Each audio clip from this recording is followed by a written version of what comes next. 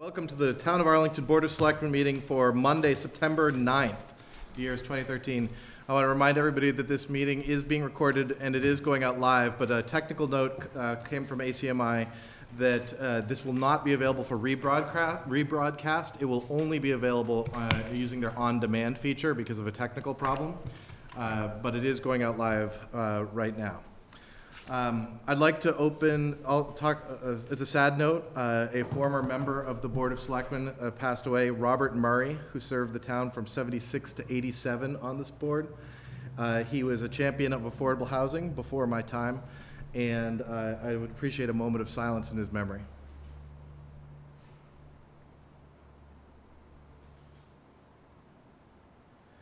Thank you. Also tonight, I'd like to note that this is uh, Juliana Rice's last meeting with us. And so uh, I- I'm sure we'll get a chance to talk about this later in a new business, but at the same time, I will say up front, I've valued your counsel and you've made me a better selectman by being able to give me advice, and I'm gonna, we're- I'm gonna miss you a lot. Uh, Finally, something good to talk about. Yay! Town Day, September 21st. Uh, Ms. Marie Krepelka informs me we have 340 vendors signed up, tables. all- Two. 240. Uh, See, that's what I get for. You just wiped out the waiting list. Uh, And so, September 21st, make sure you check the, ta- the website. Uh, You know, of course, fireworks, dogs, booths, The night before. uh, all that good stuff. Uh, And Marie will be talking about that more later on.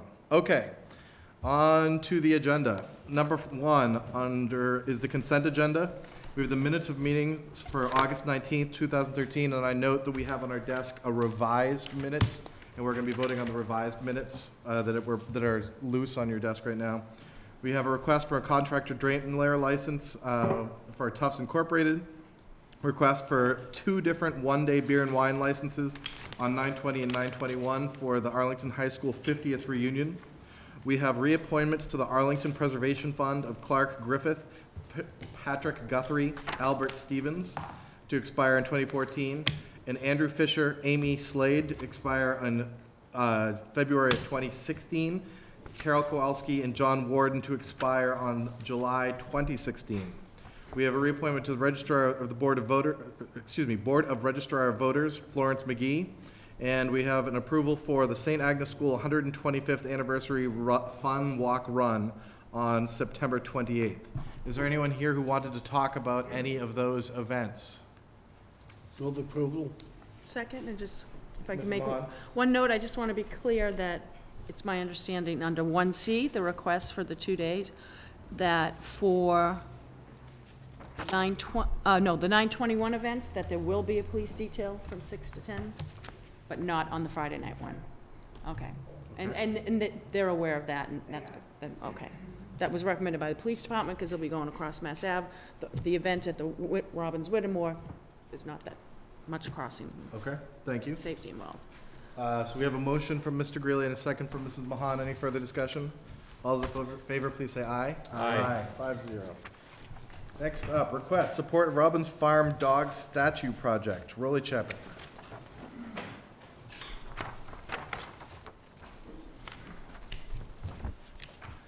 We all want to know, is the dog leashed or unleashed? No comment. Uh, Thank you, Mr. Chairman, members of the board, it's nice to see you again.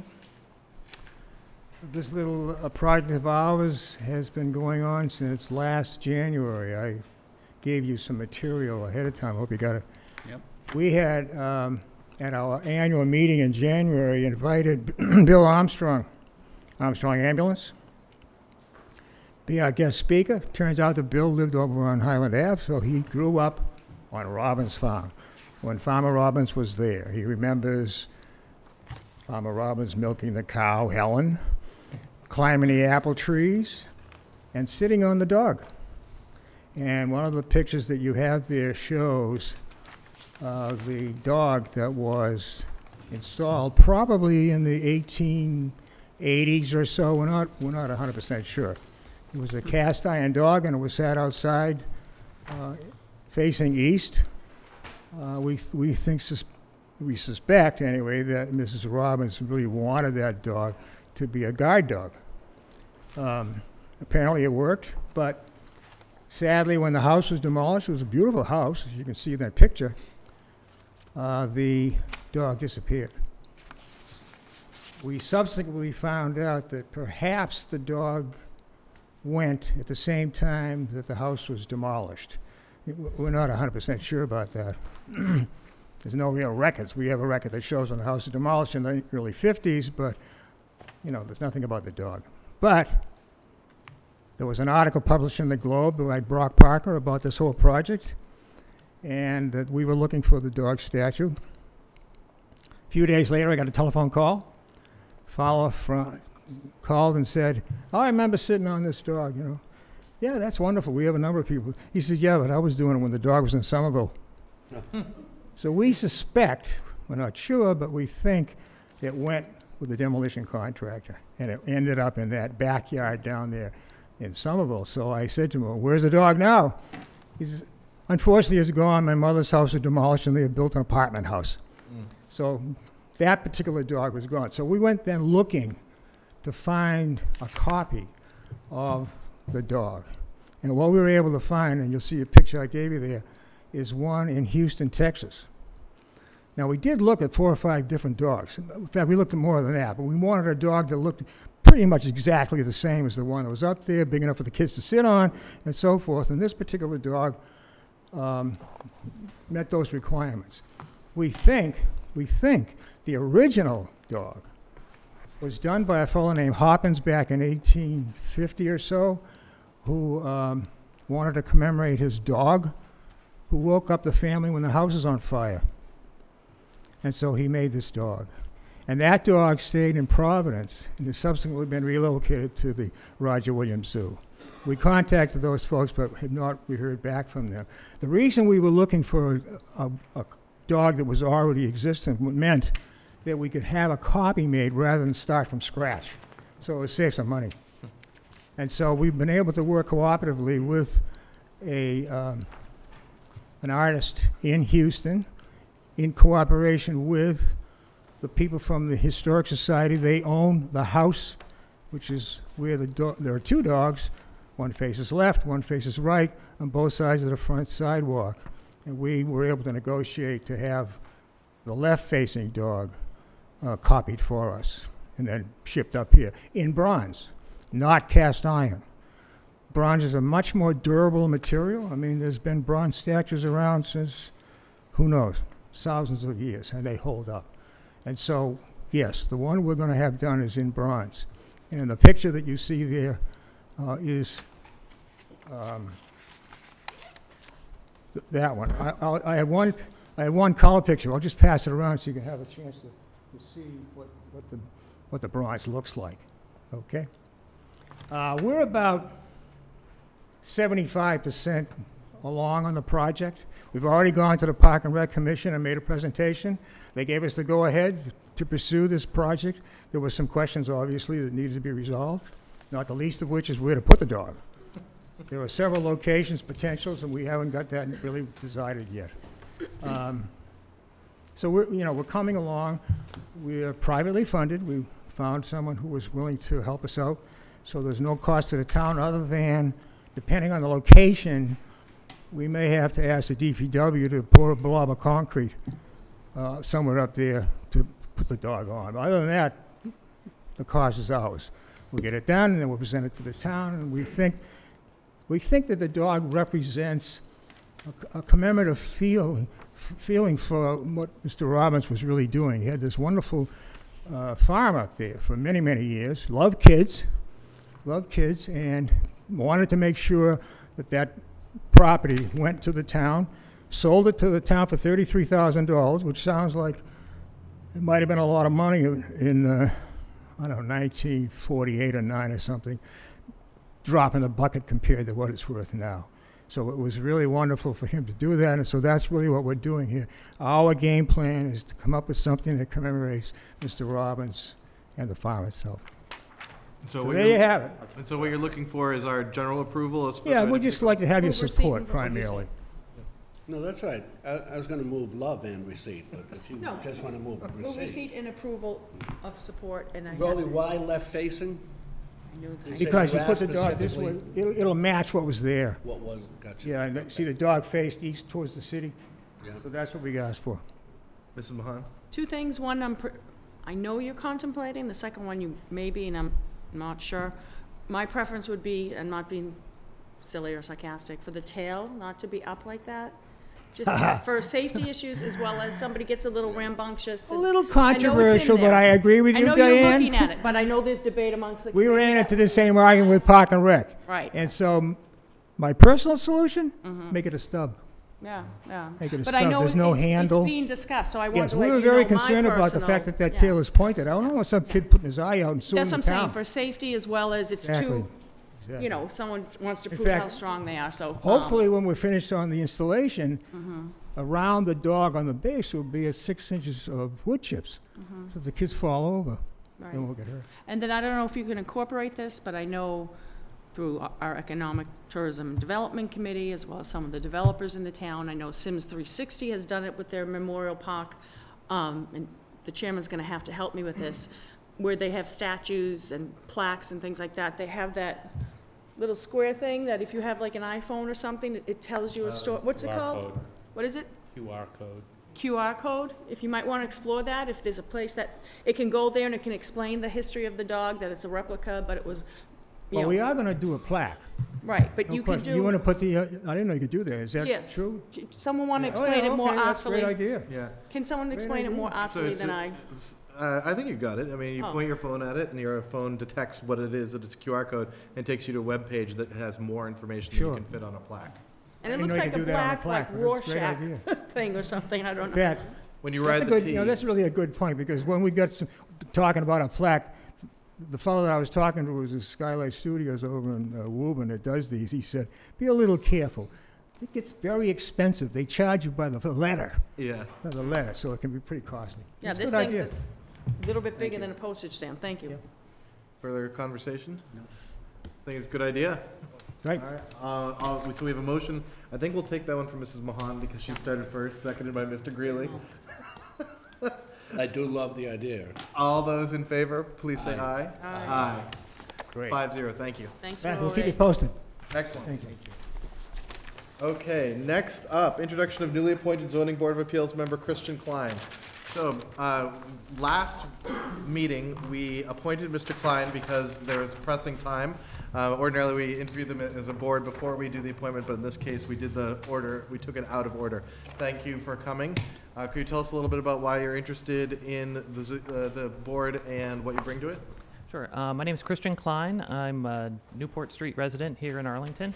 Um, I'm a town meeting member, a short-term member of the um, zoning bylaw review committee, and I've been basically just looking for different ways to uh, to help serve the town. Um, I serve with Rowley on the Friends of Robbins Farm Park Board, and um, this opportunity arose. Uh, there were several spaces available. Um, I had the chance to talk with Joe Curro at a party uh, for the ACA, and he recommended that this might be something I would consider. And uh, I, I appreciate um, your faith in me, having uh, essentially voted for me without having met me first. So thank you. And you're an architect. Yes, I'm a practicing architect here in Massachusetts. Questions? Move Approval, and just one. Um, I also want to say, work with Mr. Klein Christian on, he's been very active in getting involved in Arlington politics when we sort of piggybacked on Bill Berkowitz's idea about having a precinct town meeting member review night, um, it- which was really a good success for our first kickoff, and, um, you definitely were de- dedicated to that and made that event as successful as possible, so this is yet another offshoot, and I want to thank you for coming forward to do this. Welcome. Mr. Curro? I just note that uh, by virtue of being on the board of the Friends of Robbins Farm Park, that Mr. Klein is also a uh, recent uh, Selectmen's Honor Awards um, recipient, so uh, we- we're we're glad to see you stepping up to, yet- for yet another. uh, You got a hat trick going there. There we go. Good year. Mr. Greeley? Yeah, I was, thank you for the service you've already, already provided, and so much for your willingness to do this. Don't hate us after your first, like, two meetings. Have you had your first meeting yet? Uh, no, the first hearing is on the 24th. Nice. I'll set All right, uh, so we have a motion, I think, to, yeah, to approve. to approve, uh, which is redundant, but why not? All those in favor, please say aye. Aye. Thank you very much. Thank you. Thank you. Okay, uh, next up would be the Arlington Cultural Council, but that application has been withdrawn. So I'm going to move on to number five, which was the approval of the interagency agreement with, the poli- for the police department. I saw Chief Ryan. Welcome, Chief. Good evening, Mr. Chairman, honorable members of the board, Mr. Chaplain. This, uh, this agenda item is seeking your approval of an interagency uh, mutual aid agreement pursuant to Chapter 40, Section H- 8G of the Massachusetts General Laws. Back in 1998, uh, Arlington Town Meeting adopted um, Chapter 48G, and we do have some more narrowly focused mutual aid agreements in place um, that rely on 8G. This one is wider in scope in that um, the goal is to have every uh, law enforcement agency in Middlesex County enter into a similar agreement, so that would, there'd be countywide jurisdiction for all police officers who are on duty within the county. And there are several reasons for that. Um, uh, Back about 20 years ago, under a- an SJC decision known as the Commonwealth versus LeBlanc, the SJC ruled that a police officer had to have an arrestable offense in his or her own jurisdiction before they could follow the violator outside of their jurisdiction. That rendered many intersections um, unenforceable for uh, regular uh, civil infractions. River Street at the Medford line, by the time somebody runs a red light, by the time we get them stopped, they're in Medford. We can't enforce the, the traffic signal. Uh, Park Ave, um, at the Belmont line, same situation. But moving, uh, fast forwarding to the uh, recent uh, terrorist attacks in Boston, we had officers deployed in Boston and Watertown, and I have no idea whether they had jurisdiction or not. And you could argue that they didn't. And so as a result of, um, of the recent tragic events combined with the day-to-day operational challenges uh, that that decision presented to us, uh, I was tasked with chairing a committee of police chiefs. Um, I didn't know what the heck I was doing, so I went to Juliana and sought her advice, and she um, uh, um, stepped up and uh, completed a very difficult task and made me look intelligent. And uh, we put together this MOU. It's gone out uh, countywide. City councils and, and boards of selectmen throughout the county are, are, are being asked for approval as you are tonight. And um, I would just point out uh, one last uh, point of information, and that is uh, that uh, the police chiefs have gone to the legislature every year for the past 20 years and sought relief, legislative relief. And in fact, right in the LeBlanc decision, the SJC decision, the SJC points out there's a very easy legislative fix to this problem. And the legislature has failed us every single year at, at uh, implementing a solution to this problem. And I'm not going to speak for, for them and why they haven't stepped up and done it, that's just a fact. And um, more recently, the SJC took up a case up in northern Essex County known as the uh, Bartlett, I forgot the- which jurisdiction it was, Commonwealth versus Bartlett.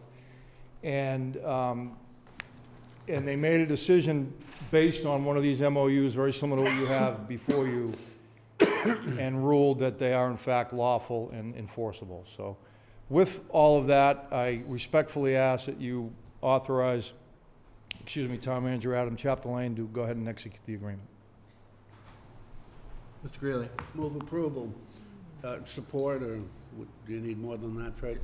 Just, That, you know, we need your authorization f- uh, for the manager to sign it under, under 8G. so moved. Second. Moved and seconded. Dis- Discussions? Joe has questions? Oh, Joe, Yeah. sorry, I'm sorry, Joe. Thank you, thank, thank you, Chief, uh, for this.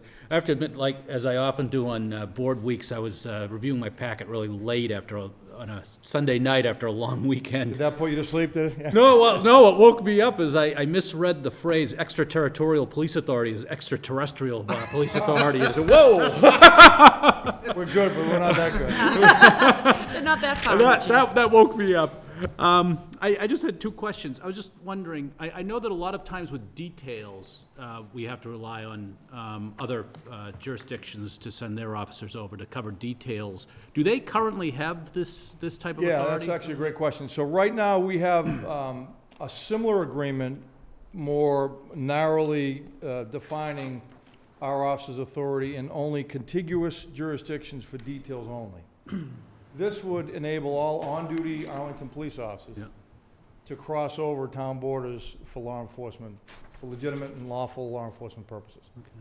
Thank you. Uh, The other question I had is, um, if uh, an officer from one jurisdiction uh, goes, goes to a neighboring ju- jurisdiction and is ac- activated or self-activated, um, are they only authorized to enforce state and federal laws, or also the, the local laws of the jurisdiction that they're? It would give them in? full, full police authority.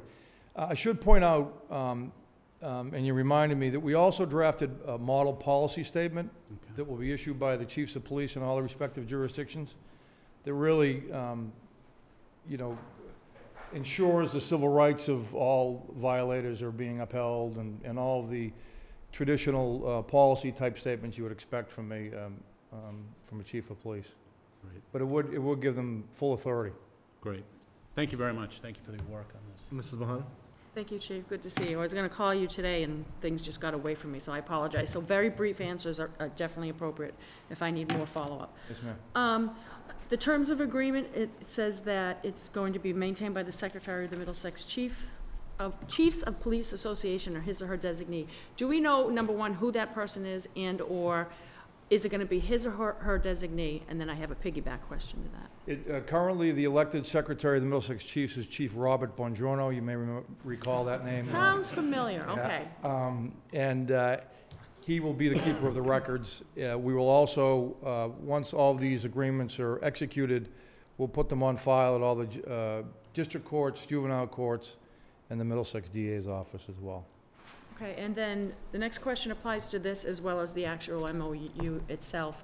In terms of who oversees the agreement, Chief Bongiorno, is that a term? Every three years it comes up, every five years, or is it just ad infinitum? And the same thing with this actual MOU, it's just gonna be in perpetuity? Or is there some sort of thing where you all, Police Chiefs Association sits down and does something? Right, the- the MOU is um, effective uh, unless it's rescinded as indicated in the agreement um, by any of the parties. And the secretary's term is two years, I believe, in the Middlesex Chiefs of Police. Okay. And then under the notification, 605, notification to receiving party of exercise of police powers, this is just because I can't see it in my head. Um, At the end where it says that to ensure that the police officers properly recorded all the facts, circumstances of the arrest, biographical data, da-da-da-da. Am I to understand that, that the arresting officer compiles all this information, and then somebody else, either real-time or peer review, looks into that? Like, I'm just trying to see how that plays out in my head, because Right, I've never so, been a police uh, officer. So, for example, a Lexington police officer follows a suspect in Arlington, conducts an investigation and makes an arrest. The on-duty shift commander in Arlington um, has the authority to get all of that booking data, as we call it, before Lexington takes the detainee back to Lexington. And, you know, these are operational decisions and, and um, issues just that occur in yeah. the field. I want it clear in my head, because sometimes, not with Arlington or any of our surrounding communities, but sometimes there's sort of a, even though Right. there's an agreement, a territorial issue, and if it's definitely clarified, I just want to know what Right. that process was. And then, my, la- I, I understand it's not necessary, the Board of Selectmen signing this, we're going to authorize the town manager. You don't need our signatures or just the chairs. No, we need a vote of the board. Okay, and then a signature. And then my last question, it isn't really, I don't think, it's probably just implied under the contract, but I want to check. You have liability and indemnification. My question would be, if one of our officers responds and for some reason suffers a medical injury, who covers that? Is that just regular They're employed by us, they're be covered by us, no different than pre-LeBlanc. Okay, That question's come up a lot, and my answer has been, you know, the same as it was before LeBlanc was, was enacted. The, the employing agency um, assumes uh, responsibility for its employees. Yeah. You know, I'd point out there was an incident really that motivated me before Watertown on this and how I got appointed to the committee. We had a report of a, um, a domestic down on Boulevard Road, coup- several 911 calls. A couple had pulled off of the parkway in a motor vehicle and had gotten in a violent domestic uh, altercation. And there was an infant in that, in that automobile. And um, the victim was thrown out of her car, and the perpetrator fled the scene in the car with the infant in a violent, enraged state. Um, we dispatched officers. One of the officers came down Route 2 into Alewife and literally saw the guy drive by with the infant and called his supervisor and said, I see the car, Sarge. What do you want me to do? so, as I sat and listened to that, that radio activity, I realized that I was really failing our officers and not giving them the tools they need to do their job. Mm-hmm. Because that sergeant was left with, with two bad decisions. One, stop it to make sure the baby is safe and everybody's safe and lose the criminal case. Or two, don't stop it and wait until we can get Cambridge to stop it and put the, put the child in harm's way. So, you know, as I sat back, I said, you know, I, I'm, I'm failing our, I know the legislature's failed me, but I'm failing my officers by not, and the reason this hasn't been done, frankly, is because it's a, it's, it's a heck of a lot of work. And somebody had to, you know, finally after 20 years, somebody had to take the bull. And so our committee has done that, and we're doing the work town by town and city by city. So uh, it's really giving our officers the tools they need to ensure public safety. It's, you know, it's, it's, and it's it's I- I very know the closely political- monitored by yeah, the poli- policy and. I understand the political tug of war, and it is a simple fix, but then you all, I, I want to thank you and the Middlesex Chiefs of the Police Association for all this wor- extra work on this, and once again, I'm proud to say our police chief um, is involved. And I would say seventy-five percent of the questions that I asked you, it really is just the court reporter and me. I just want to be able to say, and it was discussed, you know, I'm anticipating possible Yeah. future, not in Arlington, so thank you very much. But, you know, as I said, Juliana uh, Thank you, Judy. deserves the accolades on, on Sorry, way out the yes. door. Kevin? So, uh, thanks, Chief, Um, excellent work as always. Uh, What if one community doesn't have as enlightened a Board of Selectmen as this one and support this? Uh, What what if, a what if a Board of Selectmen says no, or a mayor says no? Does Then that that, stop then you at that the border? jurisdiction will simply not be um, a par, a party to this agreement. Um, And that, that's a likely possibility, although I will say that this is getting some legs statewide. Uh, I know the statewide organization of Mass Chiefs have, have looked at this model and others. And um, so, I mean, it's, it's, it's a cumbersome and difficult solution to the problem. We recognize that, having uh, 251 cities and towns, you know, entering into 8G agreements. But if our legislature is, is, is not concerned about situations such as uh, Watertown and, and officers not having uh, proper jurisdiction, then, then we just need to do the difficult work. And I think Framingham just voted today. Yeah, we have about 20, I believe, cities and towns that have already acted on this. And that was going to be my second question. Are there other jurisdictions that have such an agreement already? There are, I mentioned the Northern uh, Essex County Uh-huh. Bartlett decision, so there were four communities that apparently share a- some sort of common retail area.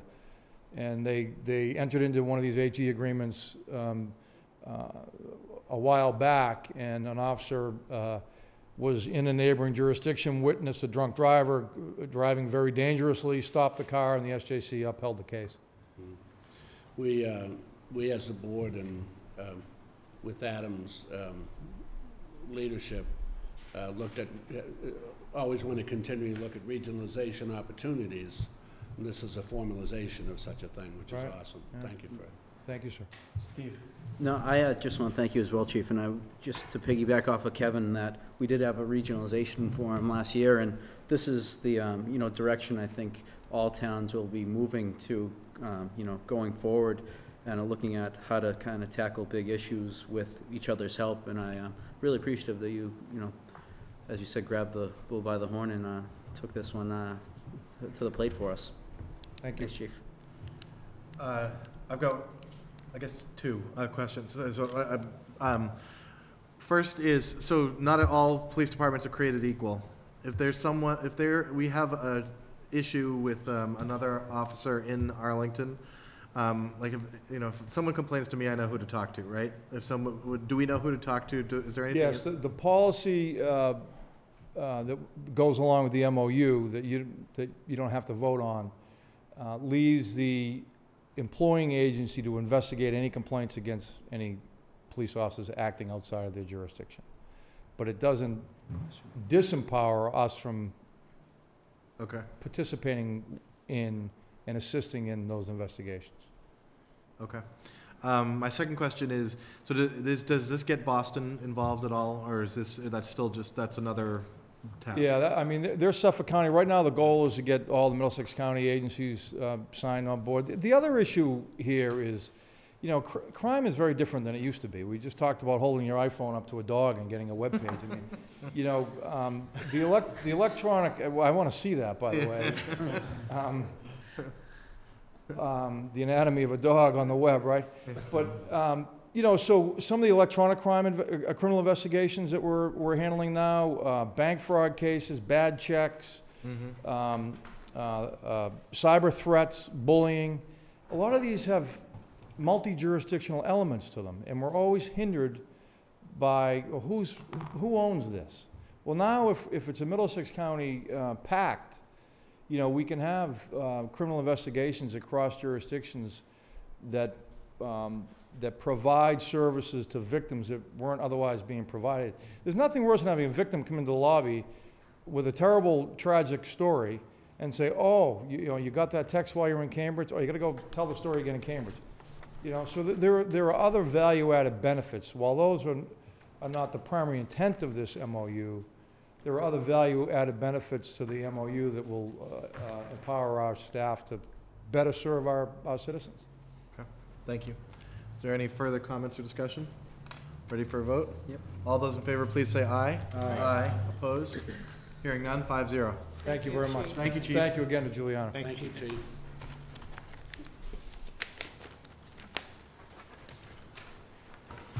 Okay, next up, uh, uh, common victualler uh, and wine and malt license to transfer, Christopher Rizza, JJ Sue and family doing business as Thai Isan Cuisine, the former Tom Yam Kung. Come on, Hi, Hi, could you good introduce yourself and? tell- Honorable members of the board. Um, I'm Christopher Reza, I'm the president of the uh, company JJSU and Family, going to be um, Thai Isan Cuisine, are doing business as name. And we're applying for a common victualler and wine and malt license transfer from the business formerly known as Tom Yam Kung. Um, We've done some, done, even though not recommended or required, we've done trips, uh, tips trainings um, for um, serving liquor. My, uh, my wife Joy, the treasurer and vice president of the company, and myself. And um, we've done the plan review process, and we're uh, just about ready to go. Mr. Greeley, Are you sure she shouldn't be the president? I'm just wondering. Uh, Thank you very much. Probably a better public speaker than me, but Thank you very much for choosing Arlington. Move approval, subject to all conditions as set forth. Second. all right, we have second, co- questions, comments? Steve, Uh, sorry. Well, I, I did have one more question. Samples, did you bring samples this evening? not yet, no. No, yeah, good answer. Steve, Um, I want to thank you for providing the alcohol serving plan. Um, That's not something we see all the time um, in these applications, and we uh, just dealt with this, you know, over the past two meetings we had, actually, and I think these are, that's, you know, a proactive step in providing that to us. Um, I was wondering, um, if, could you talk a little bit about the logbook that you plan to have on premises? Yes. And uh, the type of incidents you'll be putting Right, into that it? was um, also in the tips training. I thought it was a good idea to implement that if something, God forbid, ever was to occur. Can you give an example of what that might Um, be? yeah, it's basically, um, it's a, it, you basically like log like who the employee was who was working, what the date the incident occurred, and a description of the incident. So if police uh, ever need to be called or anything, is a kind of a step-by-step thing of what, a- explanation of what occurred. Cool. Thank you. Yes, absolutely. Anybody else? other questions? Um, I do have one to piggyback on Steve's. Sure. Sure. I I was just, uh, I also, I was glad to see that in here.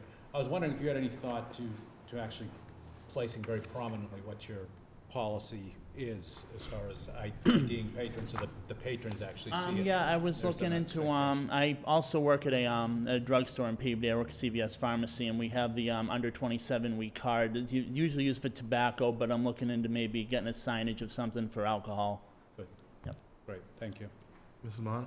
Um, piggyback on one note, I, I think many, many years ago when I worked at ABCC, the logbook, is it correct, like, say you have a- an unruly patron and you have to shut him or her off? Right. That's the kind of thing that you would document in there, es- especially if something came forth from that. And Yes. you did have to involve outside police or other involvement.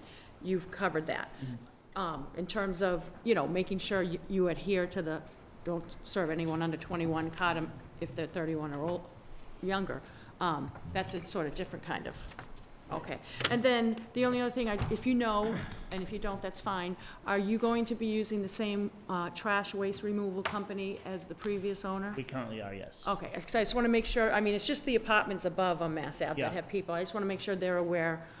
Someone came in last week that had somebody brand new, and I just don't want to, I'm trying to stop the neighbors calling me, Yeah. which they should call any one of us at 5:30 if they want, and they Yeah, do. They, they just uh, supplied me with a very alarming bill. I didn't know I had to pay the following month also, so I kind of just had a little bit of a wake-up on that, so yes. but, My uh, dad would say they get you. every time. Yeah. Okay, thank you very much, and good luck. Thank you.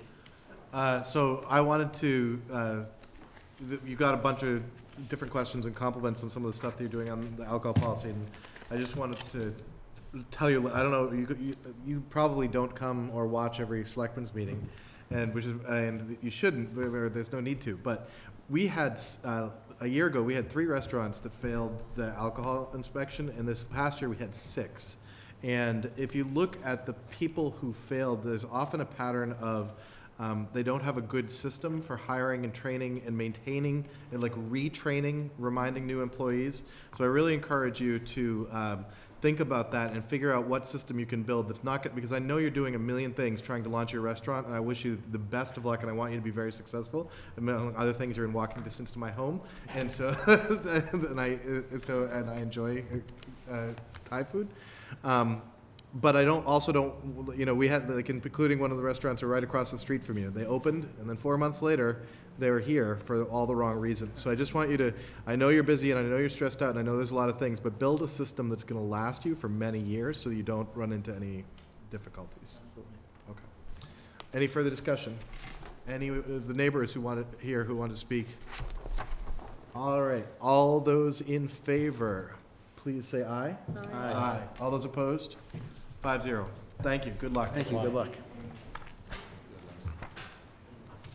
Next up, request common victualler and all alcohol license, new public entertainment, outside seating and cafe permit. Bob O'Gwin, Blog LLC, uh, doing business as Common Ground of Arlington. Mr. Leone. Welcome. Good evening, how y'all doing tonight? I'm here with Bob O'Gwin. Um, Bob's 45, he and his wife Laurie want to open a new restaurant in Arlington at the abandoned Gemma site. It's- We're here for five different permits tonight. The common victualler, the all alcohol, public entertainment awning, and the outside seating and patio. Um, I think in your packages, you've gotten pictures of the inside and the outside of the building. I brought one here so they can see out in TV land. I'm sorry, you said five, but I only, what's the fifth? It's I had victualler license? Victuallers, all alcohol, public entertainment, and awning, and patio seating. We didn't advertise awning, uh, or at least it's not on my agenda. Uh, uh, uh, So Juliana, do you mind contemplating that issue, but I'm gonna have him keep going? Yeah, we can always do the awning But, later. sorry, I, please, Um, What Bob's, Bob's in, um, I'm gonna call him Bob, 'cause at this point in time, I'm very familiar with him after the ARB hearings. Um, He wants to re- rehabilitate the abandoned Gemma site with a 196-seat restaurant. The front will be 106 seats for day-to-day service, and in the back, he's going to have 90 seats for an event function hall, which will only be used for events and functions. It won't ever be used for um, day-to-day overflow seating for the front of the restaurant. You all should have this plan. Um, I gave Mary Ann one the other day, showing the outside seating of 28, which is the outside patio seating, the main area and the rear area. Um, That is his basic layout, that's what he's going to be going with. Also, you'll notice on the plan, there are two spots designated A and B. A would be where the inside um, Sunday jazz brunch type entertainment would be, and in the back is where he would have the function hall entertainment. That's for the public entertainment The space is huge, it's 5,266 square feet. He's going to occupy the entire space, and as the ARB required, there was 57 parking places. We found all 57 within the legal perimeter of 1,000 square feet of the restaurant, and he actually picked up two extra spaces in the back as part of his lease to put um, employee cars or his own vehicle, so they're not taking up town um, public spaces. Mr. O'Grin believes this is, the Arlington Center is essential, is the perfect place for this kind of restaurant. He wants it, a gastropub. What's a gastropub? Good food, craft beer, good drinks at a reasonable, family-friendly price. Um, He's been running a common ground in Allston for a Couple of years. couple of years. In that time, he's gotten 22 different awards for his foods. Um, He's not just a burger joint gonna come in, it's, it's good food. He's, he's proud of his food, that's one of his main focuses. Um, What is important to note is what he is not gonna be. I don't know if you guys read The Patch or any of these other internet blogs, you've heard all sorts of crazy things. They've been portraying him as a college bar, a beer hall, a um, drinking bar. It's none of these.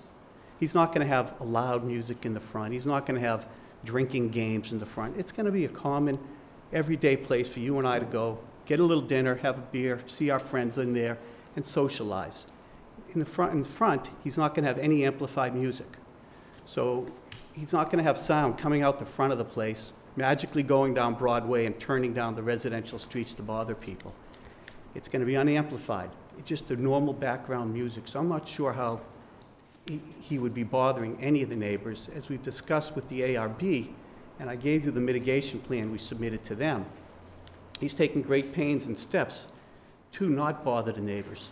Um, To the effect, to the extent that he's even going to provide the neighbors with contact information, so if they have a problem with his place, with the sound, they'll be able to call him directly. He doesn't want to have a a crazy drinking place. That's not what he's after. Um, This would be a desirable for Arlington. It's a kind of, you know, more or less, it's a dead space in the center. That Gemma space has been abandoned for a while. Even when it was a Gemma, it wasn't fully utilized. He wants to bring a vibrant cafe-type atmosphere, hence the outside seating. Um, operable front windows so you can open it up, that people walking by can see in, they can become part of the um, atmosphere of the restaurant and become part of the um, center itself. I understand, Mr. Curro, that there are maybe some plans to redo that, and you might be on a board for uh, part of that group. Oh, no, that was, um, I, I was just checking with Mr. Curro. Oh. He's the only selectman I checked with, with- that there was, um, a group of merchants down there that have combined, and initially this summer, Yeah, they he were will. talking about having events every Friday night, Well, and they he ended will- up just doing the block party, that's it. Bob, Bob wants to join in that group, and he actually would like to um, do any up- upgrades with the town's permission and, and, and input to upgrade that Broadway Plaza area to enhance it and to bring life to that section of the center, which is sort of dead. Um, His function room in the back, um, he's never going to have a live band back there with ticket sales. That's been proposed, I understand, on some of the websites, that he's going to be running rock and roll shows back there. It's not going to happen. It's going to be for me or you to rent out, have our family, friends, business meetings can go on in there, that sort of events, not rock and roll shows or anything of that nature. In the front, he's going to have a two, two to three-piece, one, two, three-piece jazz band on Sunday for his brunches. That's about all he's really envi- envisioning for the front. Um, Like I said, no amplified music in the front. There'll be no speakers outside. It'll just be a open-air um, cafe place. His hours of operation, he wants to just do 11 a.m. Monday through Friday to midnight, Saturday and Sunday, 10 a.m. to midnight. Why midnight? Nothing else is open till midnight. Um, The kind of pub that he's envisioning would it- it lead itself to that kind of a crowd. It also, as the owner of the Regent Theater said he would welcome that, um, because when his shows get out, often his client, his patrons have nowhere to go. It'd be perfect, the two of them would blend together. Um, So he would have that kind of a crowd coming in, It would also give people somewhere to go after a show. What we basically have here is a great applicant with a proven track record. He's incident-free with the ABCC and the city of Boston. Um, He owns and operates Common Ground in, in um, Allston, has had no incidences there at all. We've worked really hard with the ARB. We had two meetings, one of them was three hours long, the other one was two hours, the first one, at least. Um, We've been working with um, Mike, Mr. Burns, the city inspector, building, come up with plans for the whole entire building, in the back, entrances, everything. He's got a sound plan for building, for parking, the sound, the commuting of his employees, and the cooking exhaust ventilation. We've worked out a plan for that. What I have provided you with also is a 10-point alcohol service policy. Um, We took the initiative and did that and provided it to you just to be upfront that this is what he's going to do. And in that, you'll see that all of his employees are going to have tips training. Um, He'll do that as mandatory. All of the employees are going to have to sign off on that policy so they understand it. Um, And he has his own rule of thumb in there. If they don't look as old as your parents, card them. Um, It's kind of a good rule of thumb because most people age 21, their parents should look like me, know, old. Um, I saw that. So I ask you to approve all five of Bob's licenses. If one of them's not properly advertised, we'll do that one later on down the road. Um, If you have any questions, or Bob wants to say anything? Oh, here's a picture of the outside. I don't know if you saw that. Um, The only difference is, we have up lighting here, it's gonna be down lighting. So it will be a aluminum sign here, black awning, and he's gonna redo the front over here so it's wood with um, the accordion-style windows. It's also showing what the outside seating would look like um, if that is granted by the board. I don't know if you want to take a peek at that. Thank you, John. Um, I just want to say that um, I, coming into this community, hopefully as an asset, uh, my mentor Jerry Quinn, who I worked with for 20 years, had taught me that if you work in a community and you make money out of the community, you need to give back to the community. And I believe that wholeheartedly and 100%. And when I come in, I expect to try making it as attractive as possible for the whole community and for everybody to be proud to actually bring their family and visitors to. And that's basically, and just so you know, the food is awesome. I have a chef from Colombia. He's really good with his meats and smoking, and we, we like, again, it's unbelievable. He likes duck. Who's up first? Do you want to do public input first, or you want us? Um, I'm happy, if anyone, does anyone want to jump in with any questions, or should we go to public I- input? Can I just do one, Yeah. que- just for clarification? Yeah. Because I don't want to have the discussion if it's a moot point. Um, I had gotten a few emails and a couple of phone calls about not the outside seating, but serving alcohol on the outside seating. Are you still asking for that? Because, and the reason I say that is I did ask Town Counsel Juliana Rice um, on that, and I don't know if you want to provide a brief explanation that you gave me. Yep, um, currently, the board's uh, liquor policy with respect to restaurants allows, um, outside service of alcoholic beverages, um, but only on privately owned property, and that was an amendment that the board made, uh, in September of two thousand and twelve. Okay. But I don't know, I- you may have withdrawn that request for that reason, Um, or? I'll, I'll discuss with Bob during, Okay, I'll that's it. I just wanted to, con- so it is something to be discussed. Okay. Uh, Then, are, is there any questions, or, okay. Oh, I I think I actually have one other. Oh, yep, uh, Joe. Point of clarification too, or two. Um, One question, we're in a sea of paper here. Um, You, you did state in your mitigation plan that there are no plans for the karaoke at, anymore. Um, first of all, I never advocated at karaoke. Okay. Um, the reason why I think it was advocated, or someone brought it up, is because our place in Allston has karaoke night. Okay. Again, it's the market can call for that. What I said was, if you someone privately books the back room and wants to bring a karaoke in for their 50th anniversary, for their birthday party, I'm not objecting to it. That's up to them. But I am not advocating to have a karaoke night. Well, The reason I ask is, is because on the public entertainment license, that there's the map, and there's a handwritten note that says jazz duo, trio, and karaoke, and Oh, it's in the that- front, it's in the front portion. That map was, um, I gave a new one to Mary Ann the other day that eliminated that karaoke in the front of the hall. Yeah, the karaoke is only supposed to be for the back if someone books the room for, and they want to bring karaoke in. I'm not having karaoke up front. It's- And, and also, I'm wondering, are you looking for the same hours on the, on the um, sidewalk cafe is for the rest of the restaurant? I actually have not thought about that because I makes an assumption that after nine o'clock, ten o'clock, most people wouldn't want to sit out on the patio. I, I assumed that it would be closed down because sheer volume in general, but I, I honestly didn't think about that. Okay.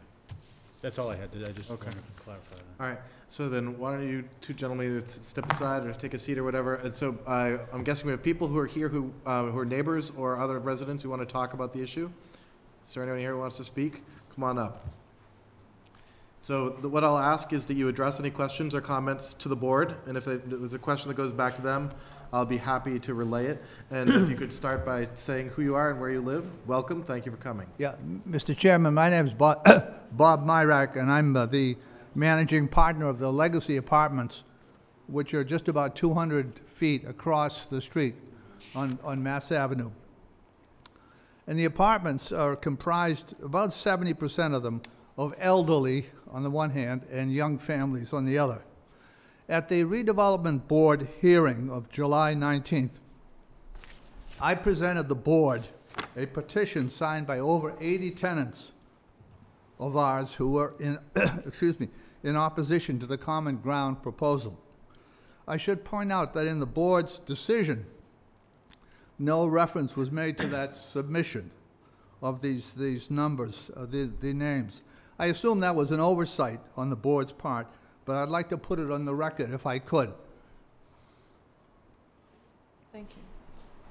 More important than tha- that oversight, I see by the board's, that is to say, the redevelopment board's decision, that some some steps, important steps have been taken to mitigate some of our concerns, and I appreciate that very much. I do have a couple of questions, though. First, about the hours of operation. Now, the redevelopment board, with no discussion of operating hours, has sanctioned the closing of 12 midnight, seven days a week. Let me repeat 12 midnight, seven days a week. Now, no other restaurant in or near the center operates with such hours. Rather, every restaurant in Arlington Center closes at 10 o'clock during the week and 11 o'clock on the weekends. Now, if Common Ground is essentially a restaurant, and I believe their representations, what justification is there for these midnight closings? And will all the other center restaurants be allowed to operate until midnight, because you're obviously setting a precedent? The only exception, as I understand, is the Menotomy Grill, which is the Menotomy Pub, which is on the Cambridge line, as you know, but that is not in a residential district at all. So that's one issue, namely the hours of operation. Secondly, noise abatement. Now, we thank the redevelopment board for requiring that the function room be soundproofed, and as these gentlemen have said, and I believe them. But since, uh, and it's going to be soundproof because private parties can use that, and they're going to bring their own amplification system. And moreover, we're pleased by Special Condition 4B, which states, and I quote, "No amplified music, with the exception of standard restaurant background music, will be provided in the front main restaurant room." That raises a question. I don't want to sound like a Philadelphia lawyer on this, but I just wanted some clarification.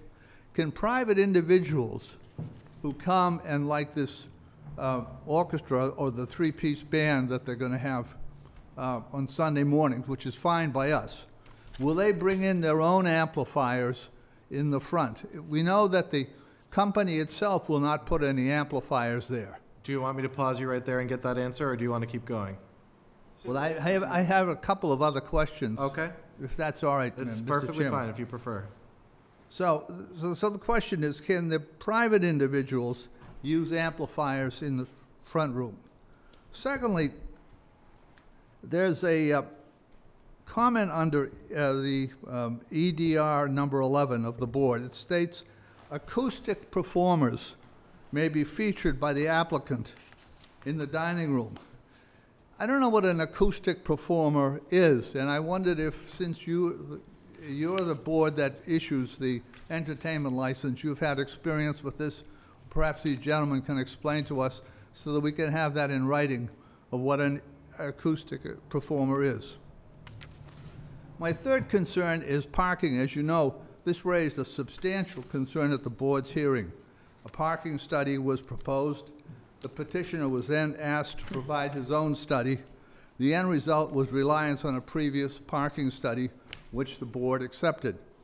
No wonder that one board member concluded that the issue of parking was no more than an educated guess, and it really is a problem. But I, I believe that other people here will speak about the uh, parking. Mr. Chairman, board members, we're unhappy about the empty storefronts in Arlington Center, and we're encouraged that the owners here have sought to mitigate their impact on noise and parking. We do appreciate that. Certainly, a, a a pub will bring a new and needed attraction to the center. I hope, however, that your board, with its licensing jurisdiction, will properly set the hours of operation in line with current practice and clarify the issues about noise that I have raised. I say this because, as I said, we are have, do have elderly, we do have a lot of children there, and the prospect, uh, the question was raised about the outside seating open till midnight. Um, The board, all the boards in town welcomed us, and we were very happy to build our apartments there. We do have families, and I just think it's excessive to think that we would have noise up till midnight every night of the week. Thank you very much. Thank you. So, uh, do you, well, I'm gonna invite, you. so you asked some questions that I think I are probably appropriately posed to Mr. Leone. So, Mr. Leone, uh, first off, just in terms of the request for midnight hours, uh, if you don't mind, I want to tackle these one at a time. Uh, What's, the- why do you seek a midnight hour? What, what would be the effect of an earlier evening? Uh, Yeah, Well, as, as I said before, there's no other venue in the center open till midnight. Mhm. Um, It would provide a destination for, not everyone goes to bed at nine, 10 o'clock like you and I. People will be out at that hour, they can stay out if they wish beyond 11 o'clock.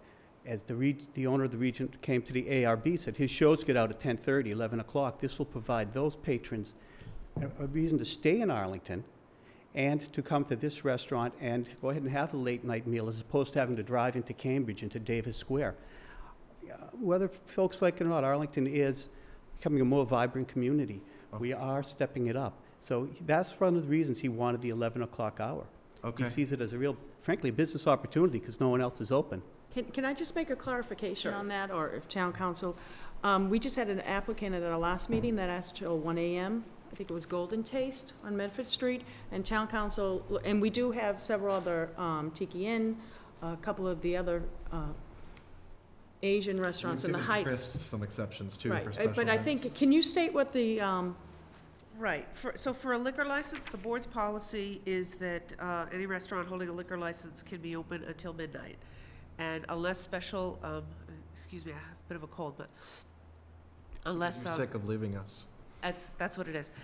Um, unless there are special conditions placed by this board on those, li- on that license. So the other restaurants in the center that may close earlier do so out of their own choice. I, I do not believe that there's traditionally put any, uh, hour of closing that's any earlier than the one stated here.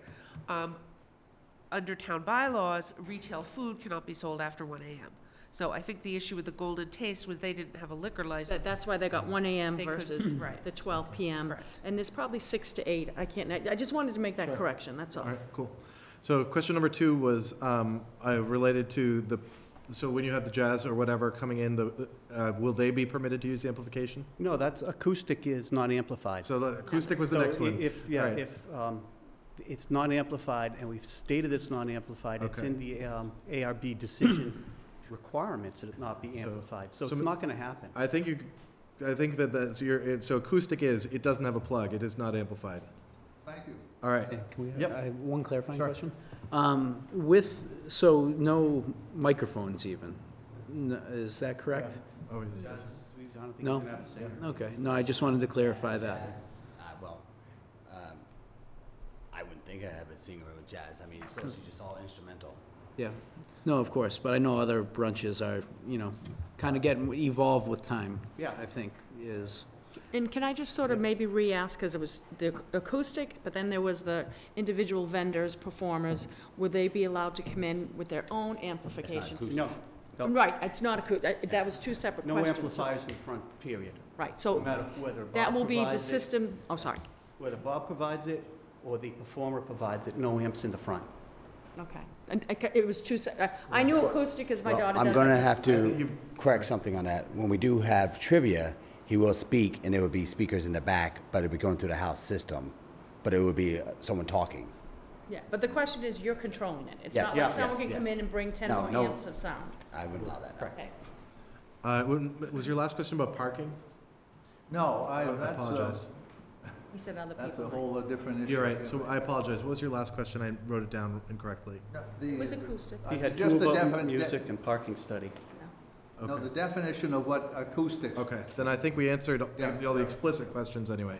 So in other words, when, when I, I did a survey of the restaurants, I don't mean to drag this out, but I did a survey of the restaurants in Arlington Center, and each one of them said, open uh, weeknights till ten, and on weekends till eleven. And, but you're saying, Madam Counsel, that they are permitted to stay open till midnight? One. Uh, Midnight if they have a liquor license, one if they don't. And, and what to- if they don't? One One if they don't. Oh, One I see. AM.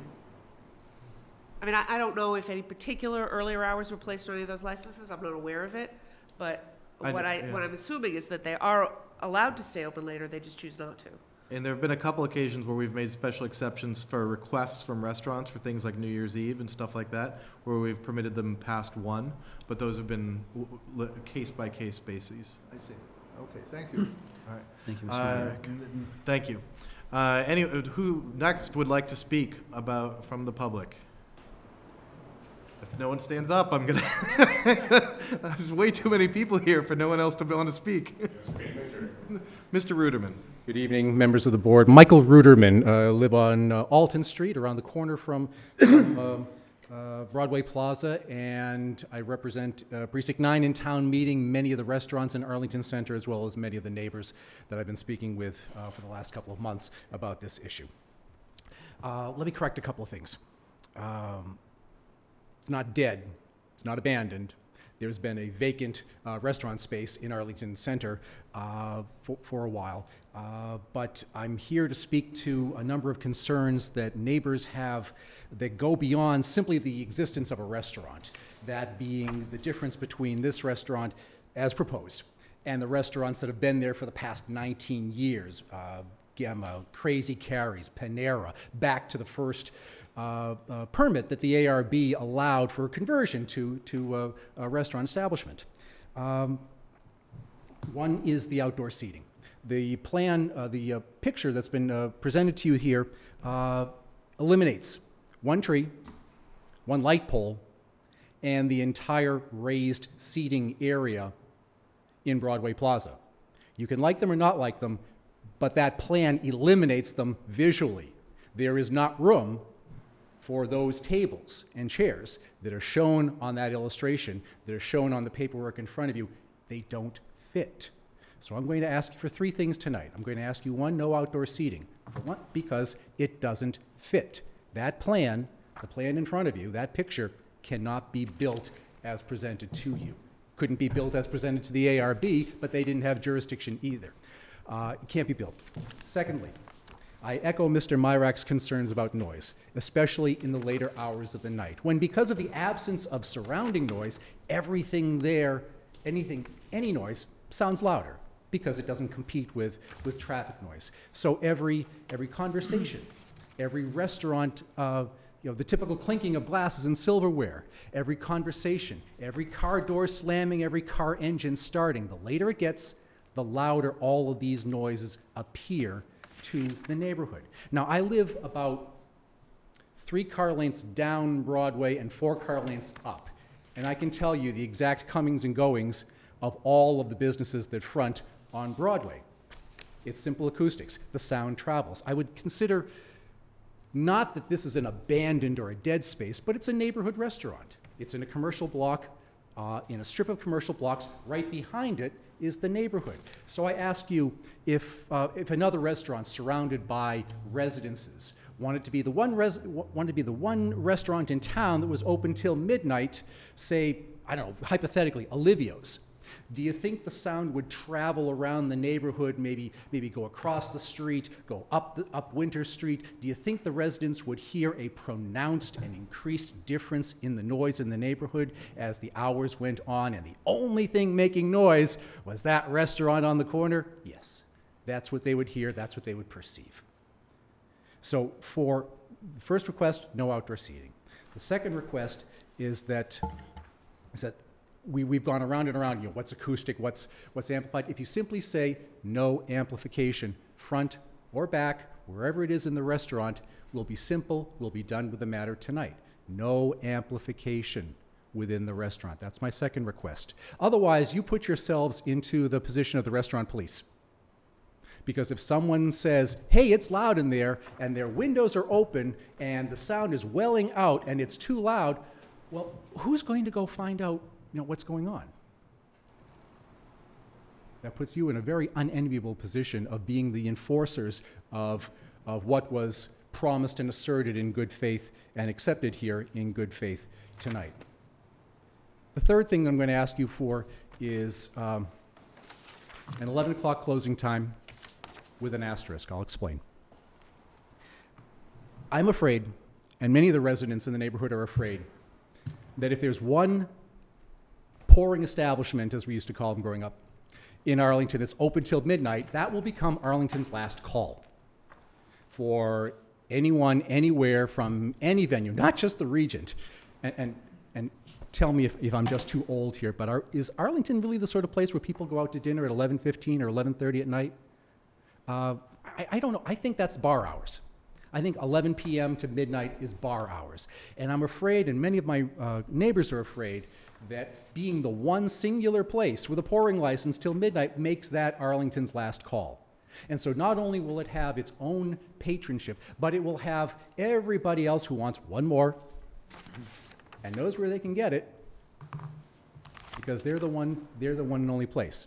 And I'm afraid that not so much that you're going to have a parade out the door of other petitioners asking for the midnight hour, but maybe you will, and maybe you'll have to consider this, you know, multiple times in, in short order. But I'm afraid that the 11 o'clock hour will become, will become Arlington's last call of choice, and our neighborhood will suffer all, all of the sounds and noises and impacts and parking and, um, but let me give you the asterisk. We've heard a lot of um, well-minded and very community-minded assertions and promises both in the ARB hearings, the five hours of that, and, and tonight. So I'm going to ask you if you'd like to continue this experiment that, um, that your predecessors began some while ago in um, uh, having uh, pouring establishments in Arlington. I ask you to hold off on uh, the midnight uh, closing hour, save six months. Let's hold off on that until we've had uh, some experience, some observation. Let's see if the, um, the many assertions uh, that um, the proponents have made here bear out, and that they are as good citizens and good community members and good for the neighborhood as they're promising uh, up and down that they will be. Now, now no restaurant's ever incident-free. I've spoken with the community liaison uh, uh, officer of the Boston Police Department. He didn't say they were incident-free down in Allston. He said, usual stuff. I said, what does that mean? He said, not much, the usual stuff.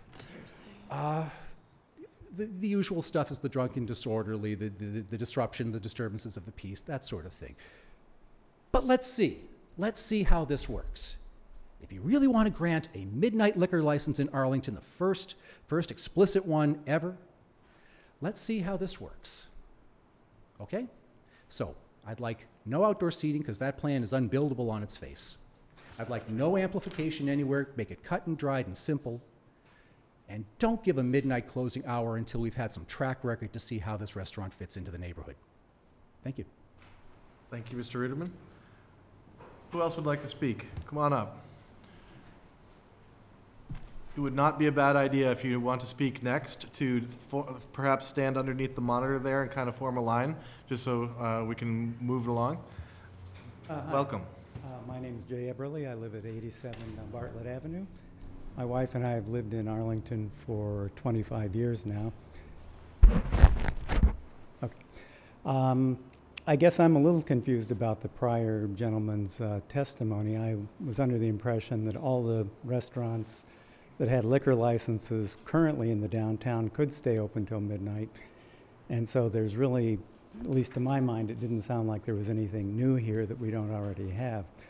Um, what I just wanted to talk about was that um, uh, over the last 25 years as, as a resident in Arlington, really have enjoyed seeing the changes that have taken place, the vibrance of the restaurant scene here, uh, of the art scene, of a whole number of different uh, things that have gone on. And um, um, if you look at my shoes, you'll see that they're a little unusual. It's because my wife and I walk everywhere. We moved to the downtown area so that we could walk everywhere to transportation, to restaurants, and so forth. Uh, we walked here tonight. And um, I think a lot of the people that will be taking advantage of this um, new venue will be neighborhood residents such as myself that will be walking. Frankly, I don't know the um, um, owner uh, of the proposed restaurant, I've never met him.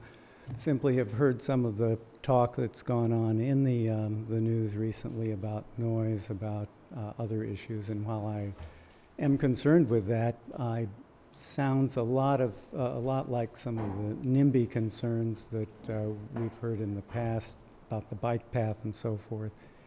And as long as um, uh, the owner uh, adheres to our laws and um, you know there's not a, a problem created, uh, then I don't see any reason to deny this. Um, looking for new activities in the downtown, and it, this sounds like a good one. So anyway, that's my testimony. Thank you very much. Come on up, welcome. My name is uh, Tess Hartwell, and um, I'm sorry. Chess. Tess Hartwell. I uh, I own a home in Arlington. Um, I own a business in Arlington. Um, I'm here tonight to speak in support of Common Ground's proposal, um, specifically the uh, patio seating. Um, I have two children, one who's just gone through the Arlington school system and one that's at the high school. Um, and I moved here about five years ago um, because I like the community. I thought it would be a good place to raise kids.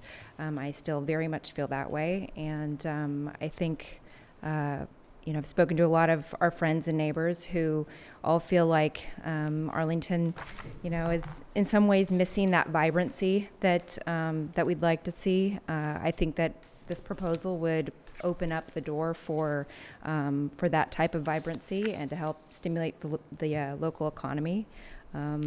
And uh, I also think that as a bicycling community, and a lot of people walk, as the previous gentleman said, uh, I think that that will alleviate a lot of the traffic situation, the parking situation um, that people are concerned over. Personally, I both bike and I drive, and um, when I've driven, I have never had a, a problem trying to get a parking spot, either in the evening or during the day.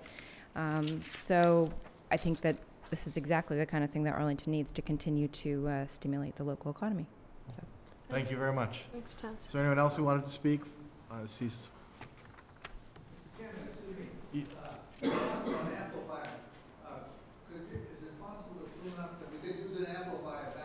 Believe it or not, there isn't one.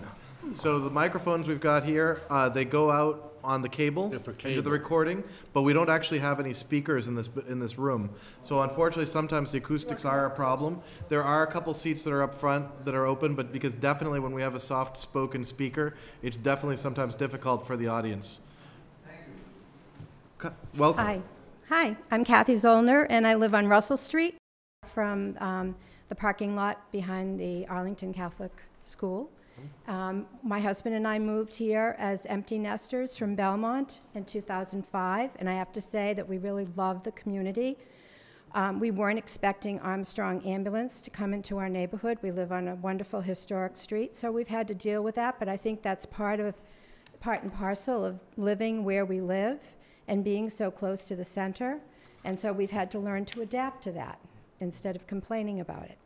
Um, one of the things that I'm, I just found out about this restaurant today coming into town, and I'm also on the board of the Arlington Chamber of Commerce, and I am not speaking on behalf of the board, but I'm a business owner as well, and I'm very interested in businesses um, flourishing in Arlington and seeing successful business because it helps bring more people into the town and helps with the vitality and the economics of our, of our community. Um, I'm tired of going outside of town to find an outside cafe. Um, I'd love to be able to walk from my home, go up and have a drink, and I'm sure the chief of police who's left would have loved to have heard that too, so that I could walk up, get a cocktail, and walk back home. And um, I too, Safely. I too walk. like to exercise.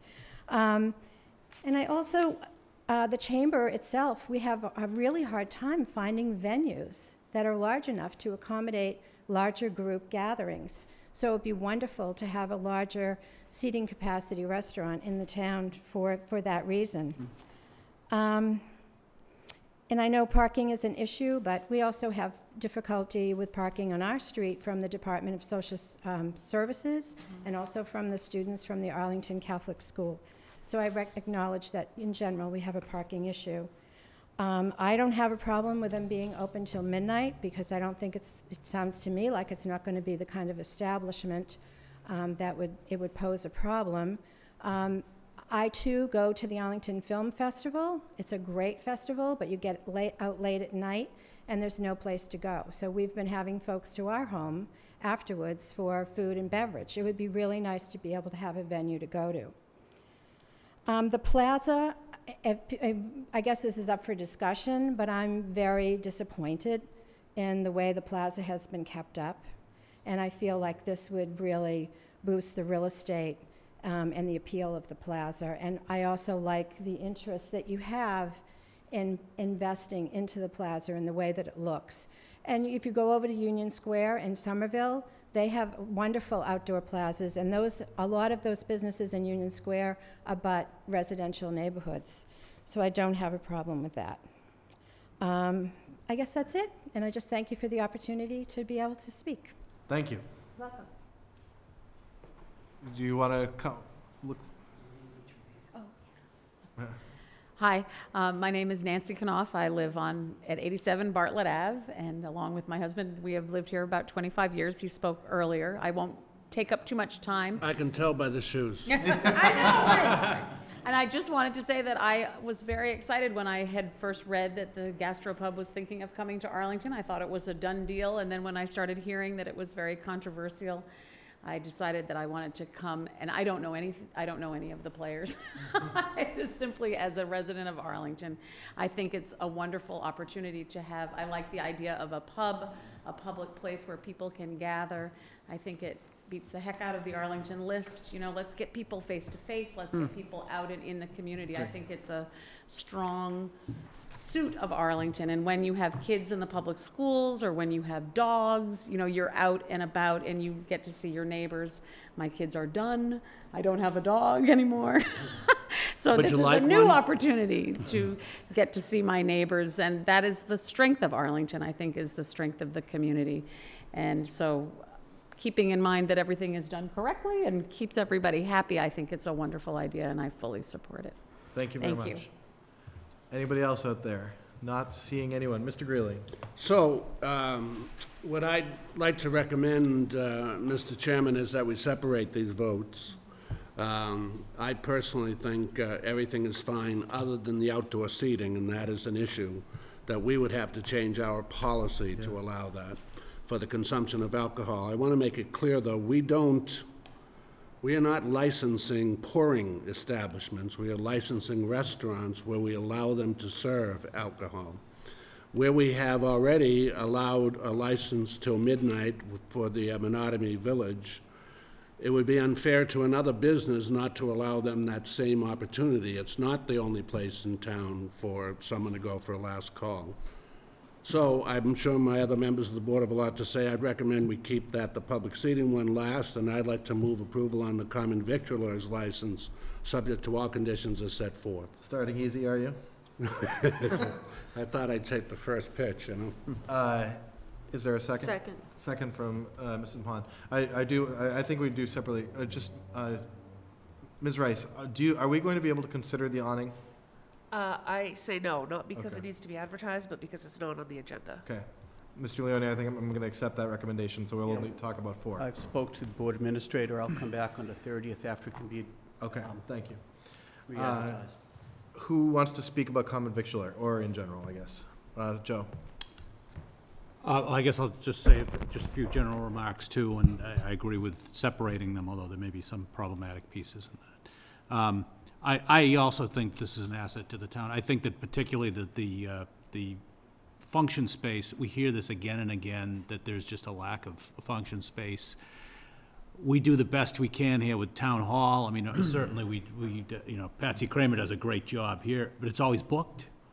It's always booked, and beyond that, well, we have the Sons of Italy, we have the American Legion are really the two most, most common ones, sometimes the, the K of C, most of which are surrounded by residential areas, too. Um, So, I mean, I think it's, it's a real benefit. I think, um, it's been frustrating to me to see that, that space vacant, especially where it's in the heart of, um, uh, of town. And, um, I think having an establishment that is complementary to the Regent, which I consider to be the anchor establishment for the center, um, in the evenings particularly, I think is, is uh, very important. The one question I'm, I'm gonna have, and I support the common victualler's license, the motion, um, I had asked a question about the hours that you're, you're seeking on the sidewalk cafe. What I wanted to ask town counsel is, where, where my thinking is, if we were, are to go forward with the outdoor seating, and I understand we're separating that, um, I probably won't be able to support the same hours for the outdoor seating as for the, the, um, the indoor establishment. And I'm wondering, do we have to set that limitation here in the common victualler's license if we were to set a limitation on the, the hours of operation for outdoor seating? Or do we have to set that, um, in the out, in the sidewalk cafe permit as, as a condition, if we were to, if it were the board's desire to do that? Well, I, I think you could, it probably makes sense to do it in the common vic license. If you do it on the, otherwise, I mean, you could do it for the outdoor seating, but the outdoor seating really relates to placement of the furniture. So what you have is the placement of the furniture, and by limiting the hours of the common vic, you're saying service can't take place after a particular hour, so. Let, let me tell you what I'm trying to get at, and uh, I don't know if my board, my colleagues will agree, and, and uh, maybe you can tell us how we could do this. I mean, I, I agree with, with granting midnight op- operation for the, uh, the restaurant and function hall. I only feel comfortable with uh, ten o'clock for the outdoor seating How, portion. how, How would we do that? Would we do that in this motion or in the outdoor seating motion? This is the common vic? Yep. I would do it in this one, because Okay. at the current time, I think you're not gonna entertain allowing service of alcoholic beverages on the plaza, Correct. because under the current policy, I you can't count to three on that, now. Right, so I would do it on the common vic, I would say for the common vic, the hours are till midnight, except for the outdoor seating portion, then the hours are only till ten, or whatever the board decides to vote. his feelings. Just, You want- just a point of clarification. Yeah. Uh, What this argues for is we really should take up the outdoor seating and, and approve it or deny it right now. You know, that Yeah, settles your issue. Okay. maybe. Uh, let's, let's Sorry. go, let's go Okay, around and then right. let's No, I go. But, agree. uh, but I think it's a good advice, Mr. Greeley. D- Um, do you guys want the outdoor seating if you can't serve alcohol out there? I would say yes, because there are some, some people who would prefer to sit outside as more of a cafe to our windows. It- It's like an extension, extension of it to make it a better feel and atmosphere. Prefer to have the alcohol, but, I mean, Um, it's one way, you No, know. I, we're fine. um, and I, I, um, and just on this portion of it, I, um, I would be open to having, you know, a more in-depth policy discussion on the serving of alcohol outdoors. Um, I don't think this is the right time for it. Okay. Um, but, um, th- so that's how I feel about the outdoor seating. All right, so then I think, so I I feel like we, we have general support for the common vic. We just have to figure out the language. So let's put that motion to the side for the moment, and um, let's talk about outdoor seating. And if anyone wants to make a motion, that's fine, but if we don't want to and we just want to talk about it, that's fine with me too. Uh, Mr. Chairman? y- Yes, 10 a- 10 PM is fine for the outdoor seating. If you Okay. want- We'll, Thank whatever you. you Yeah, want 'cause to do. I wasn't thinking about the All right. asset, but- so I have a question for the applicant about the outdoor seating. So, uh, looking at the physical layout and looking at the plan, That was the architect just throwing it down. We'll- Yeah. And, because we were trying to decide whether it should be up against the building, we were trying to figure out the pathway. so we don't actually have a real seating plan in front of Right, and I'm good at revisiting this in three months from now, when I have a better understanding what's going on. Is, so, yeah, does, is there anyone, so my thoughts on, so uh, here's what I suggest. I don't think anyone's gonna, we're not about to approve outdoor seating, we don't have a plan. But let's give them the benefit of a discussion about things that we think are important and let, so that to make the plan that comes in a better one. Is that okay? Uh, Mr. Greeley? Can I, can I just, uh, clarification on what you just said? When do you hope to start, uh, when would you hope to open? I God would hope willing? to open based on it either by December or January first. Okay. And that's why I was saying I would revisit it once I got in, addressed, and then see more about the outdoor area. So that's what I'm, s- are you willing to delay applying for the outdoor seating until after you open? Yes. Oh, Yeah. well, that's So- reasonable. That Well, gives So us, let's yeah. just give it a general, quick general discussion. Do you have any com, Mrs. Mahon, did you have a? Um, I, I want to agree with the, Mr. Kira, I'm not sure who made that. Right now, our bylaw says you can only s- s- serve alcohol on private property. And I think tonight's meeting, we need to have a future meeting where we discuss it, that if we want to make a change to that. Is it a bylaw? Yeah. It's the alcohol policy. Alcohol policy. But not bylaw. It's All right. Okay, our- our, it's our policy, um, so, and, and when where the outdoor seating still isn't really cemented down, um, I would be leaning towards what Mr. Curro had suggested, um, twelve AM for the restaurant and ten PM for outside. And I would note, we do have, um, m- and maybe, maybe to some of the neighbors, Menotomy Tavern and Grill, when East Arlington was first developed, and I know I was involved with the East Arlington Good Neighbor Committee, there were lots of concerns, especially with all these restaurants coming. And I think a testament, because they're sort of in the later stages in East Arlington with restaurants and other businesses and developments, that when Mon- Menotomy Tavern and Grill came in, and you do have a lot of residences. I know the Bartashes and everybody on Cottage Ave and Teel Street and people who live on Mass Ave. Um, and there's a historic home directly across from that. Um, one of the things that really worked, that I think helped the neighbors down there, which, which is brand new here, is they've gotten used to, they see the benefit of having a lively Capitol Square, they call it, as well as, and I think I heard this, but I just want to follow up on two um, items I think you referenced that you were committing to or exploring. um, Tavern and Grill and other establishments, but they are open until midnight. They have outside, outdoor seating, but it's, I shouldn't say their private property, it's the owner's private property that they lease. Um, They ha- have contact people, they're really good about, you know, getting in with the neighbors. And I think I also heard you either were talking about joining the chamber and/or the Broadway Plaza Business Group. I- I'm not committing you, it's not No, part. no, no, I'll commit myself, don't worry about it. No, I, I invol, I plan on getting involved into the community as much as I possibly can. Um, like I, I already talked to the horticulture about the, the potted areas, I wanna take that over and beautify it and spend my money on it, because I want it to look nicer, that when you look at the center, you go, wow, it looks nice, let's go check it out. I'm all about making it look nicer, I've heard, uh, owner of the shop over there is complaining about how dirty it is. I'm like, well, then do something about it. It's your place. Clean it up. That's how I was taught to do. And that's what I do when I come in. I make, try to make it as best as possible with the community help and stuff.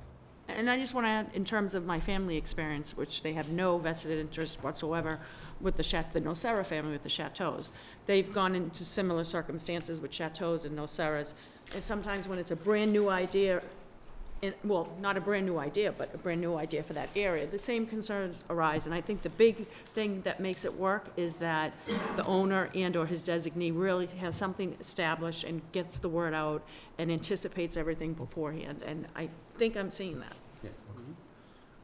Um, a- any comments on outdoor stuff briefly? Well, No, we're not I just want to clarify, the Menotomy Grill, where we have allowed it, you have to enter the restaurant. You cannot enter it from the sidewalk. That's a big difference. That, that's, that's obviously the issue here. But, I mean, I think it- it's very, you know, uh, very nice that they're willing to wait and say, look, you know, give us, let us open and get it going and everything, and we'll, re- we'll revisit, which we need to revisit, you know, and, uh, So, uh, what, we need to do what we can to increase and help foot traffic while, uh, being concerned and fair to the neighbors. I mean, it's.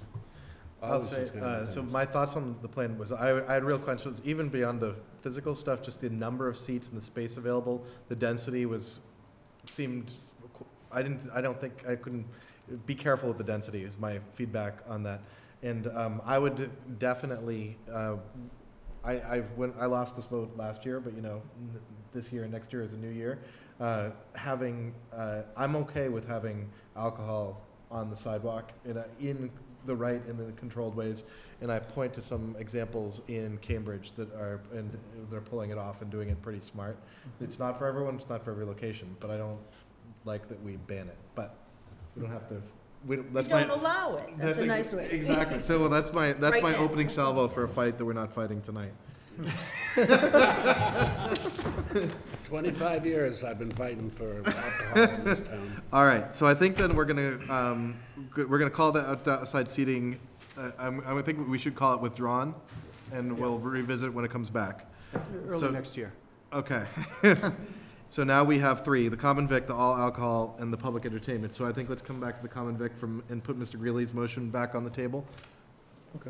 Steve? Um, one, potentially two questions. Um, looking at the, um, the plans here, the back door outside of, the door outside of the back room, the event Yes. room, is that going to be open for patrons to, you know, go No, out? that- Not that- at all, correct? That is um, Okay. emergency, and and one, of there's two back doors, actually. One in the function hall, which will be an emergency exit, which empties out onto a, um, well, you'd have to look at Google Earth. Like an alley, right? It's like, well, it's a big area. You can spin a dump truck around back there, but that goes onto an alley, which will strictly be used for pickup and deliveries and emergency patron entranceway out of the building onto the public way. So No, that that- no one will be out there. except That's for good, yeah, I didn't employees. want it to be a place where, you know, people that were No, inside the one's gonna party be would back be there. They um, don't wanna be going back there. outside. Um, And I'd also, you know, after hearing um, Mr. Myrick's, some of his concerns for his residents, potentially, um, you know, you- I'm I'm completely support having um, your place open till midnight, maybe shutting the windows um, around 10 o'clock, say, just to, you know, quiet it down a little bit for, and maybe, that, I think that might be a good compromise to work with the neighbors. In Boston, it's 11 o'clock, just because uh, it's the temperature, it's, I- and I, I would agree to 11 o'clock because it's a little bit too late anyway at that time. No, but I mean, you know, we're, we're, we're not, but we're not in, you know, Boston. No, And I- thi- This is a learning curve for the town too, and I think, you know, I think we're really trying to work through, and I think that might be a good compromise that you and the, you know, surrounding community, you know, a good way to start out a positive relationship, um, if you'd consider that. Yeah, again, those windows will not be open eight, or- eight months of the year. Yeah, during no, the I know, heating- I, I heating completely season, so- understand that, John. Yeah. Um, but I think that's definitely something to consider, and I hope you'd support that. And, um, I, I really do appreciate all that you're planning on doing for the town. Um, I like that you're getting involved, um, right off the bat. And I think, um, you know, this was a very, you know, it was an excellent packet that you provided, and with a lot of information, so, um, I thank you for that. Mrs. Mahon? If I could, um, I know, again, from my family as well as we have this with a few restaurants in East Arlington, like Olivio's, um, and I'm not sure what Menotomy, where their back door and where their workers are, um, and also the restaurants Punjab, um, because there's residents right there, even though there's a parking. Um, they've all, when complaints have come in, I'm trying to be pro- proactive, that, you know, people are working till eleven midnight, and, you know, when you're working late at night, to you, it's nine o'clock at night. Um, and, you know, lots of times there's lots of dumping and, and, you know, doors and every door and window open, open. And what, what the neighbors have asked for and other restaurants have done is, has sort of trained their employees that, you know, even though we're back here at 11, 12 midnight, we have to kind of go, I don't want to say a quiet voice, but you've been in the restaurant bu- business. I think you know what I'm referencing. I know there's different, could you speak to that? Um, well, it's like I do in Au- Austin. I, my employees, I have certain times when it's time for cleaning. you, uh, things get dumped, and you can just, basically, they're, they're gonna know not to go out and they're just throwing things against the wall. And in reference to people coming out and stuff, there's a timeline, because if I see people out at certain times, what are you doing? We only have certain breaks during certain times, and they can go to the employee area. If they're smoking, then they, they, quick cigarette break outside, yes, and keep it quiet.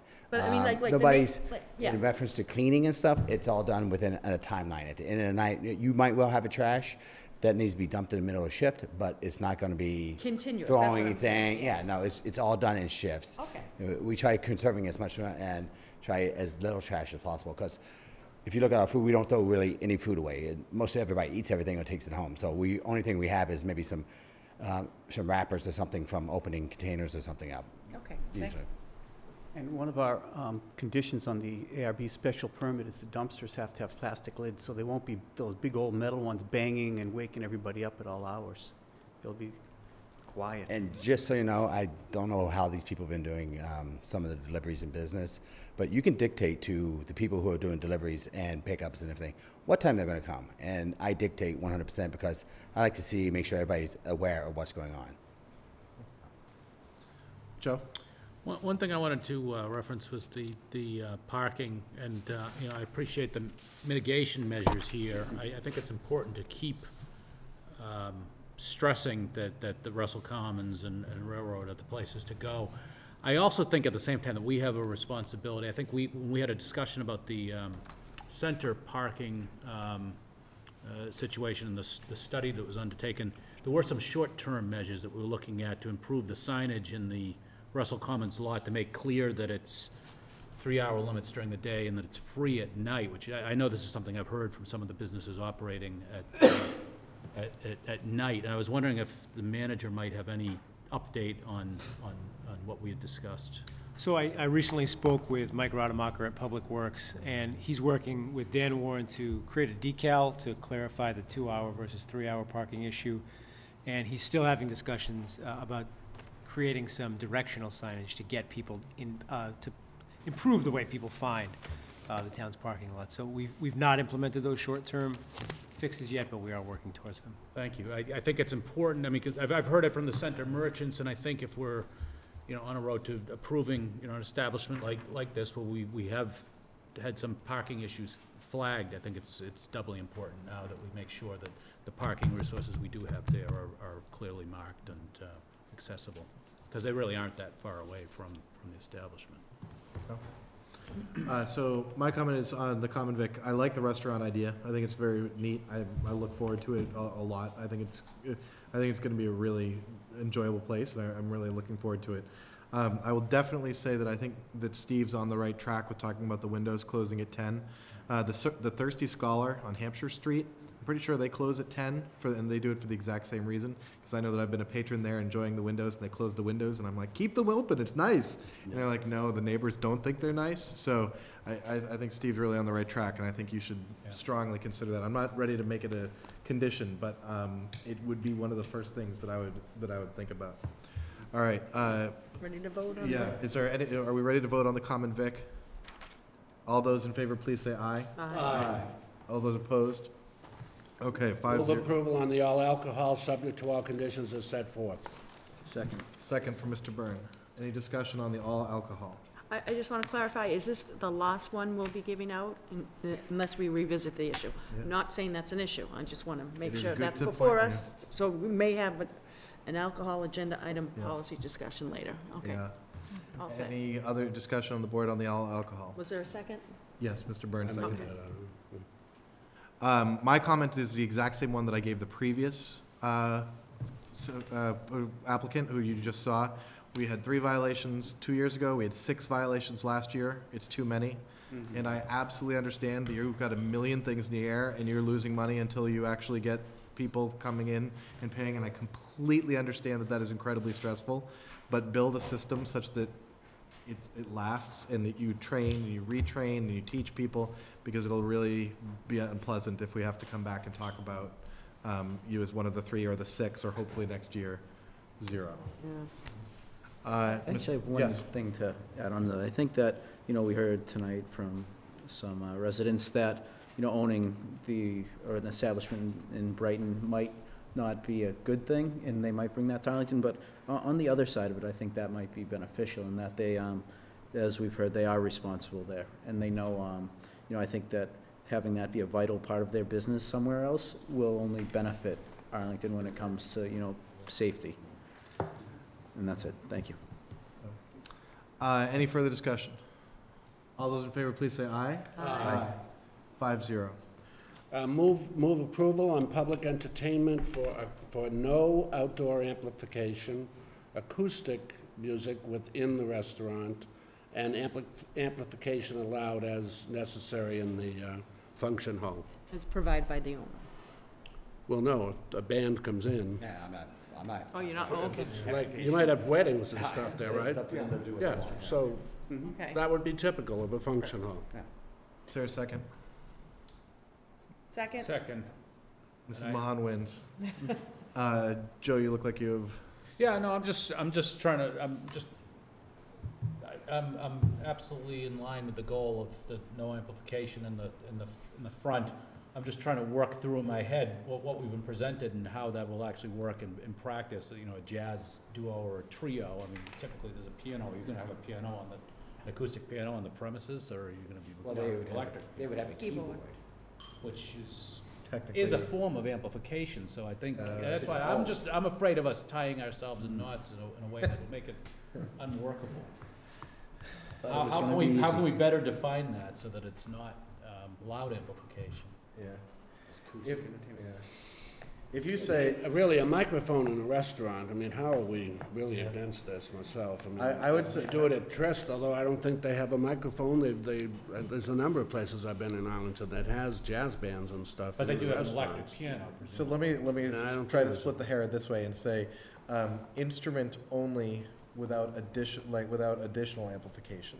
And so thereby, you're saying, like, you've got, you've got to, and admittedly, it's a fine, we can't, you're right, we're not gonna write ourselves watertight, but that's a, perhaps a share, shade better. I don't know, I don't, ca- I could, I wanna make sure we give proper latitude without, without, uh, May I ask, uh, you, you seem pretty sharp. You, you already have a group of acts, you know, that are coming in that you would use for like a brunch? Yeah, it would be like a, a violin, it would be maybe electric uh, piano, or, or, or just a uh, acoustic guitar, non-amplification. Um, basically, that's the style that you have. You might get a harp, and they don't have any amplifications. Mrs. Mahon? I get- Just to put it on the table, one solution might be that we um, support Mr. Greeley's motion, and should the situation arise, we can bring them right back in um, immediately and, you know, revoke some part or all of um, the permission. I think what Joe's concerned is, and correct me if I'm wrong, is that that piano, like an electric piano, would violate the terms that Mr. Greeley has proposed. Right. Because it plugs in, basically. It It's not seems like it'd be a acoustic. pretty common instrument. See, I have a bias, because my daughter does, elec- does acoustical, and she does guitar, and she does the keyboard, and you- you really can't jack it up on that, but I'll let you, I'll let you guys, I, I want to disclose that. Can we say, can we change, uh, to, can we say no amplification beyond the instrument itself in replace of the no amplification, and then just say, we all know what we're talking about and hope it's good enough. Is enough? that okay? Yeah. Okay, that, we can say that. You can Please amend, tell me you still want to open this place after all of this. I wasn't planning on having entertainment in front anyway, except for Yeah. trivia. so. Yeah. yeah. Yeah, okay. Everyone happy with that? I think we Any know what- further discussion? All those in favor, please say aye. Aye. Aye. Any opposed? Five zero. Thank you. Thank you. So Thank you awning very and much. outdoor seating So, another we'll- yeah, day. we'll see the awning when we have it, sorry, we don't have it there, and outdoor seating, let's talk about it later. All right, thank you very much. Thank you. We need a garage on Russell Common. And a ro- garage. It being nine o'clock, I'm going to call a five-minute uh, recess. Okay. It is, we'll be back at nine oh five. Oh, I'm gonna give my envelope.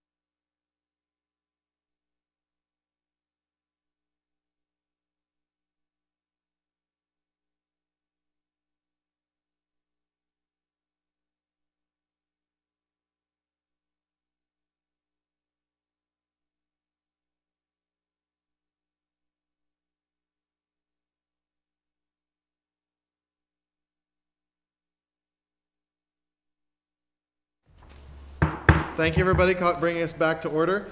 Next up, licenses and permits. Uh, Request for a second-hand dealer license, Barbara Molly, Marley, doing business as Buzzy's Bazaar. Hi. Welcome. Hi. I assume you're Ms. Marley? Yes, I kind of like to uh, think of it more in a more cachet kind of terms, as taking things from people that no longer want them and giving them to people who want to love them now. It's kind of changed the whole idea that it being secondhand. I think people like things that have some age to them and some interest. I was a former uh, high school English and history, both in Stoneham and in Lexington, and I started collecting as a child. So I was always interested in everything that people didn't want anymore and why, and I would try to restore it. And I was a docent for the Art Deco Committee and helped Barbara Capitman build uh, South Beach as to what it is today. And I had a lot to do with lecturing for the Art Deco Committee and trying to inculcate in people an interest in all kinds of things. And I, I feel that, you know, it really is the future of, of collecting and saving things, buying a bureau that somebody else doesn't want or somebody's doesn't need anymore. Would you believe that back until May, we were so rude as to call them junk dealers? It was terrible. I know. All right. Because it really isn't. It's wonderful things. All And right. it's discoveries. It's like being on a treasure So thank you. We've, uh, thank you for coming. We've uh, read your applications. Um, Any questions or a motion from the board? Mr. Greeley? Uh, Move approval, subject to uh, all conditions as set forth. Is there a Uh, second? Se- Second. Thank you, Mr. So- Greeley. So coming from uh, South Beach, how does one pick Arlington for a business? I think it's a wonderful demographic. I think it's a wonderful place. Your, your, your Arlington is a wonderful town, and um, I've been involved with Arlington for years. Years ago with Arrow Pontiac, I worked there for five years, and um, I, I loved being there, and I love being back there. And I think it's close to Cambridge and Medford. You meet all kinds of people. There's so many walkers and bicyclists and, and people that just come by and say hello. And the dog park is so fantastic because everybody has a dog, and I'm a, a big dog person. So, I mean, Well, thank you for choosing Arlington. Move approval. Yes, indeed. Further questions? All those in favor, please say aye. Aye. Aye. Five zero. Welcome to Arlington. Good luck. Best of luck. I'll be in. Next up, citizens' open forum. Except in unusual circumstances, any matter presented for consideration of the board shall neither be acted upon nor a decision made the night of the presentation in accordance with the policy under which the open forum was established. It should be noted there is a three-minute time limit to present a concern or request. Is there anyone here who would like to speak to the citizens' open forum? Welcome. Welcome. Thank you for the time. I'll be brief. Uh, Paolo Marinelli, Precinct 2. Thank you. Uh, It's past my bedtime, so three minutes is a good idea. Um, It's a near and dear issue to my heart, which is uh, roadway safety issues. And uh, I haven't stood before you in probably three years now, but it was just brought to my attention the other night that um, you're going to be doing some repaving up in Arlington Heights. And uh, there's some pedestrian crossings up there that were installed about 14, 15 years ago uh, at the cost of in excess of $10,000 apiece. And I've actually used some examples of those crossings uh, in a little piece I did on Beacon Hill last year, trying to uh, get the Commonwealth to adopt the international crosswalk design that we see in this photo, which dates back to the late 40s in Great Britain. Uh, Arlington adopted this design to go forward with this back in 01. I think it was warrant article number 41. Um, and I was also under the impression that uh, going forward in the Heights, we realized that the brick pedestrian crossings up there, I think there's about nine of them, uh, were crumbling, were rather invisible to oncoming motorists. That's really the objective of a pedestrian crossing. Um, anybody with any type of mobility impairment's obviously not a fan of it. Seniors community, disability community. And uh, I stayed up past my bedtime tonight to, to appeal to you as the, um, uh, the way I understood it as, um, the party that's responsible for traffic decisions in this city or town. This paving project's supposed to happen next week, and I was made aware that they're gonna attempt to preserve some of these invisible crossings. And, um, I got a picture of one of these crumbling ones for you that I actually used on Beacon Hill to say, look, chapter ninety monies across the Commonwealth are being used for roadway initiatives and pedestrian crossings, and I urge you, if, if we're gonna be using chapter ninety monies, let's make them as visible and as safe as possible to oncoming motorists. I've got a series of these from 100, 200, and 300 feet, and uh, what I'm going to do is I'm going to uh, hand these to Adam, and as well as a copy to you, the selectmen, and you can see how they just don't work. Yet, if you were to put these down in thermoplastic, they can be seen from easily 300 feet if done properly. Typically, a cost of one of those is less than $500 as opposed to close to 10 grand. Now, I don't know the scope of the project in the Heights, the paving project. Uh, I got wind that maybe uh, NSTAR was involved with it. I don't know if they're paying for the project, but it seemed like the time, as the road's being ripped up, to go forward and do this properly. Um, I did take a couple of notes. I will be very brief. We know these work. Well, first, let me hand these out.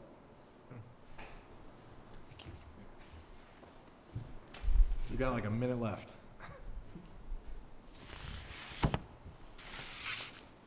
We know they work. They're inexpensive. We'd like to see consistency. And clearly, the primary objective of these crossings is safety. So I think if you looked at the condition of those, if that was concrete, there would be no question. You'd tell the contractor, you got to rip this up and do it right. Yet for some reason, we turn a blind eye to this. So I'm begging you for your consideration to make this change in the next week before this happens. Um, You have the authority to do that. I'd love you to discuss it tonight. I realize it's on the Citizens Open Forum. Um, And I can answer any questions you might have. So. Thank you. Apo- sorry. Uh, a- And just one other thing, there were two other things I would like to ask you to pass along to TAC, and I can do that afterwards if you'd like. I'm sorry, say it again? Uh, There were two things I'd like you to pass along to TAC to have them put on their agenda. Okay. Okay. Uh, do you want to mention them really Sure, briefly? sure. One of them is, was actually uh, brought to their attention twice in the last decade, and unfortunately, it's such a big project, it keeps getting shuffled to the bottom of their deck.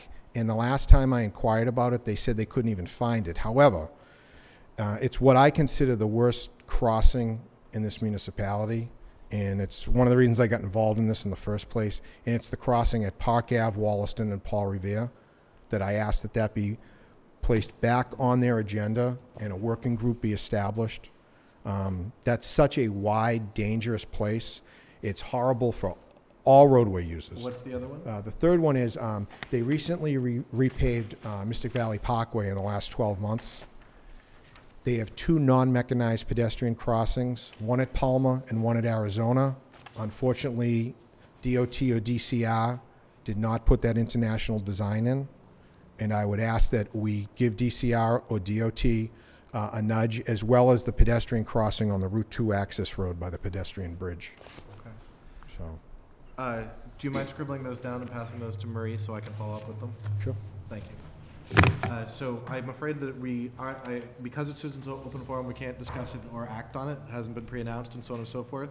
How, the, however, the person you really needed to hear, so the, who needed to hear this was the town manager, and he heard you. And so, uh, I'm gonna, we'll leave it in his hands. Uh, Mrs. Mahon? Just one clarification, when the 01 Board of Selectmen was sitting here, myself and Mr. Greeley included, but I'm speaking from my memory, not, um, there was, when TAC was originally formed, Mr. Hurd was involved with that, um, that's when the issue of international crosswalks came before us. Um, the then board adopted a policy with the then town manager and DPW director, that going forward in the future, we would A, look at where we could do thermoplastic um, crosswalks, and I haven't really seen that been implemented recently, and I think it's just because of the transition, and I thank Mr. Marinelli and Paulo for bringing that back before us, as well as it was discussed about the brick sidewalks and, you know, trying to move away from them. And my only personal concern is, we seem to be retaining them all, and I know from DPW that when we have a winter like we had last year, those things get ripped up like crazy, and there's big, huge craters, they're just not efficient. So, as the chair said, um, the town manager heard that, I'd really like to see some follow-through on this, because I think it's an easy fix, but So, may I, uh, Please. Mr. Chair? So, um, wh- what you heard is, uh, is correct. It's uh, National Grid, who had been doing work for the past two construction seasons on both sides of the road, is actually gonna be starting paving from the bus barn all the way down to Richardson on Mass Ave. So it's not, it's not the town's contractor, it's uh, National Grid's contractor coming in and doing that paving. Uh, And we've been sort of hammering on them for a while to do that. Uh, And while we've been doing that, uh, Mike Rademacher and myself have had probably three to four conversations about what are we going to do with those crosswalks. Uh, For a number of reasons. Uh, You can see, in even in some of the photos you passed around, there is a trench from the pipes that cuts across some of the crosswalks. So there was the issue of what would we replace it with? And then there was the issue of, all right, so if we're not going to do a brick, a brick crosswalk, how is the, the business district going to feel about that from sort of the, you know, safety side aside, the community development and sort of district planning side of things. But I, I think where we are right now is the cheapest fix for National Grid is to just put cobble back in uh, where those patches are. But I'm happy to have a conversation before they start working, see what Uh, we can do. If I could add to that, I know that uh, a few years ago, when this came up at the TAC meetings, uh, I was led to believe that going forward up there, as those projects went forward, that those brick pe- pedestrian crossings would be removed because they realized, number one, they weren't cost effective. They were basically invisible to oncoming motorists. They were crumbling. And as far back as uh, over 10 years ago, uh, and if you look back in TAC notes, you'll see that um, they were looking for ways to make those more visible to oncoming motorists. So one of the issues was just to change the yellow signs on the sides. Those were never done. Those were supposed to be changed to fluorescent yellow. But, so this is on TAC's radar, and, and I believe they were surprised that Mhm. these were going to be preserved.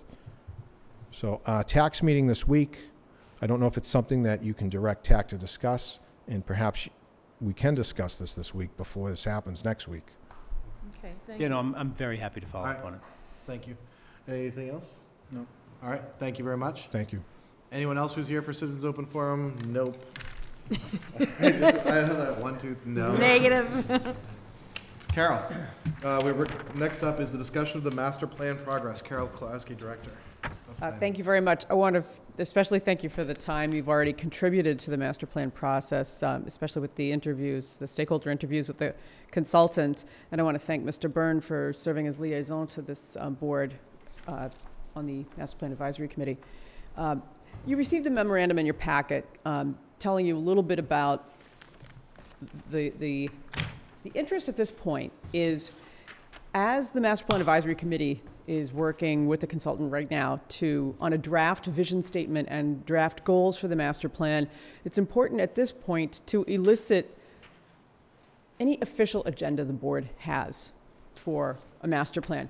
It's not required, but at the same time, we don't want to overlook any official objective this board has, or the redevelopment board has, or any other key board. Um, this is the time to gather that. You may not have considered whether you have an official board objective or agenda for the master plan, and that's fine if, if, if this board does not. But of course, you can recognize that it's important that if you, if the board does have, it's, it's, it's appropriate at this point to consider that. So I'd like you to give it some thought. I would be happy to provide you with the drafts, knowing that they're going to change. It, they're uh, a work in progress.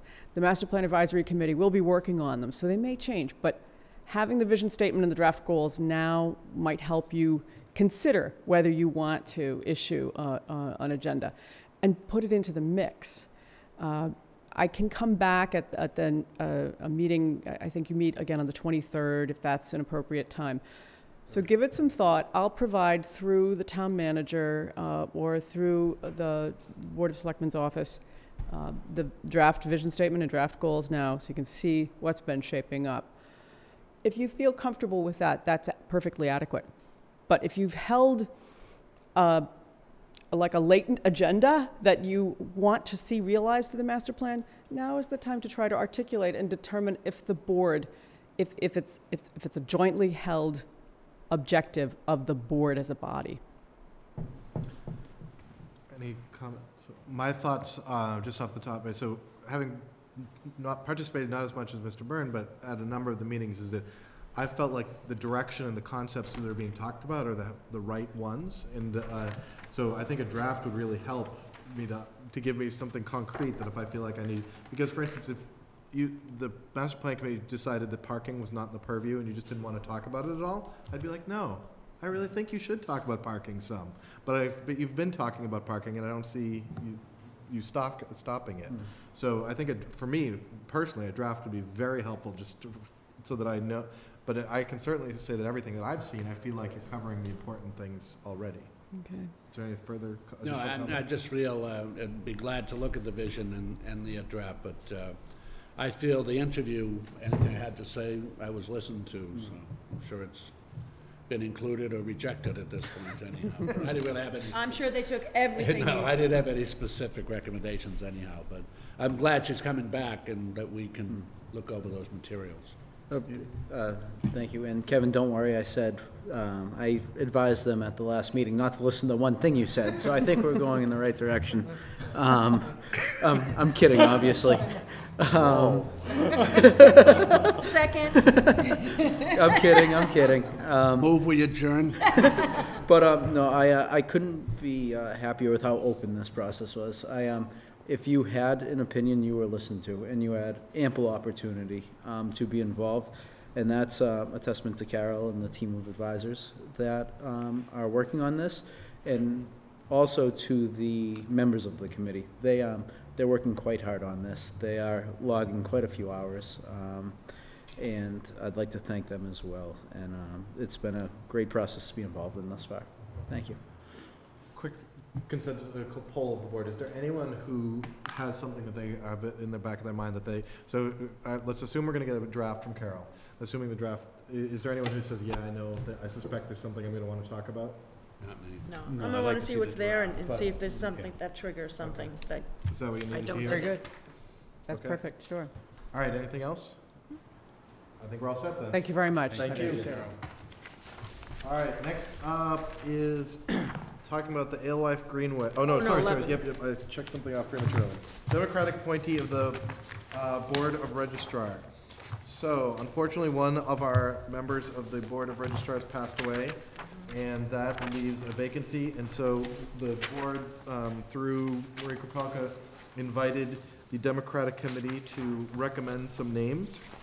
And they have come forward and recommended three people for consideration for the Democratic seat for the Board of Registrar.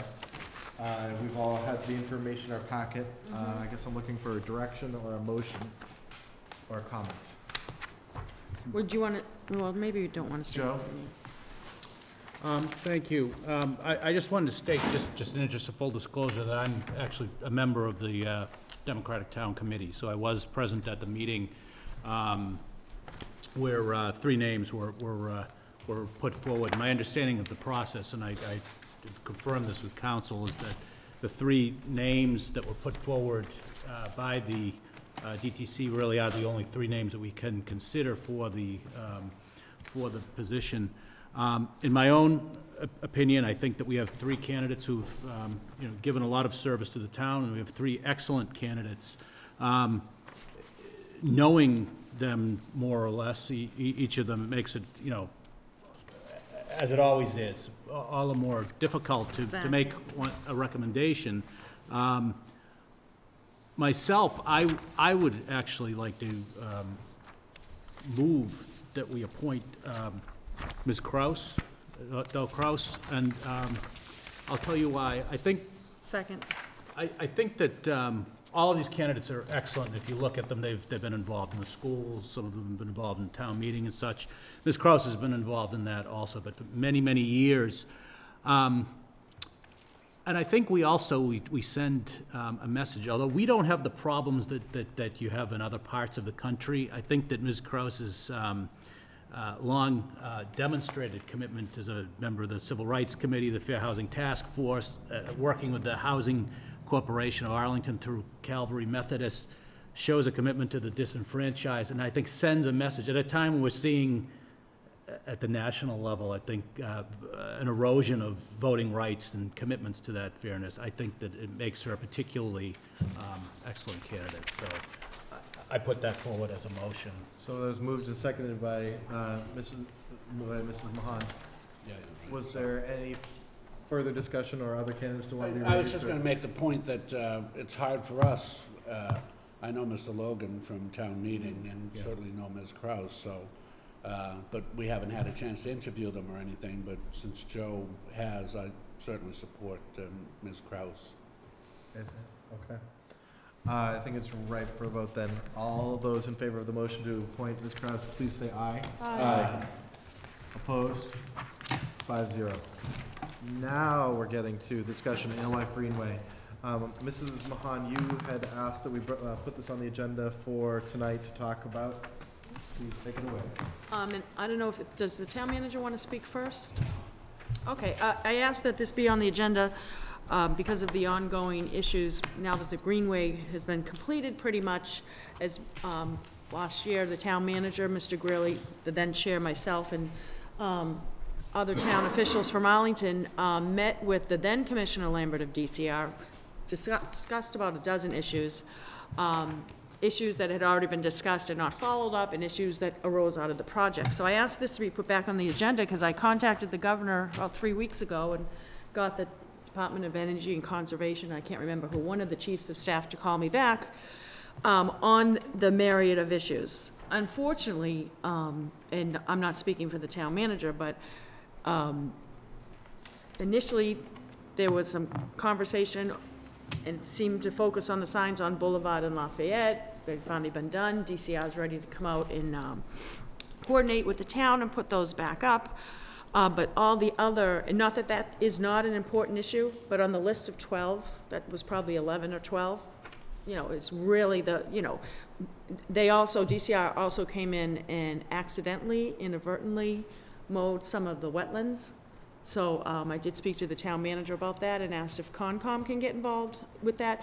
But basically, this, phone calls really aren't getting returned, and we're not getting the appropriate answer. I know the town manager and deputy town manager have tried, um, reaching out, calling, doing everything. This has been a five-year process, and for some reason, then MDC and now DCR really um, is not doing right by the town of Arlington on this project. So what I wanted to do tonight was, since we have the signs and everything, everything's ready to go, and I spoke to Officer Corey Rateau, who's in the parking department, um, the signs are up because it's a state law, it's illegal to park on abutting, um, conservation land.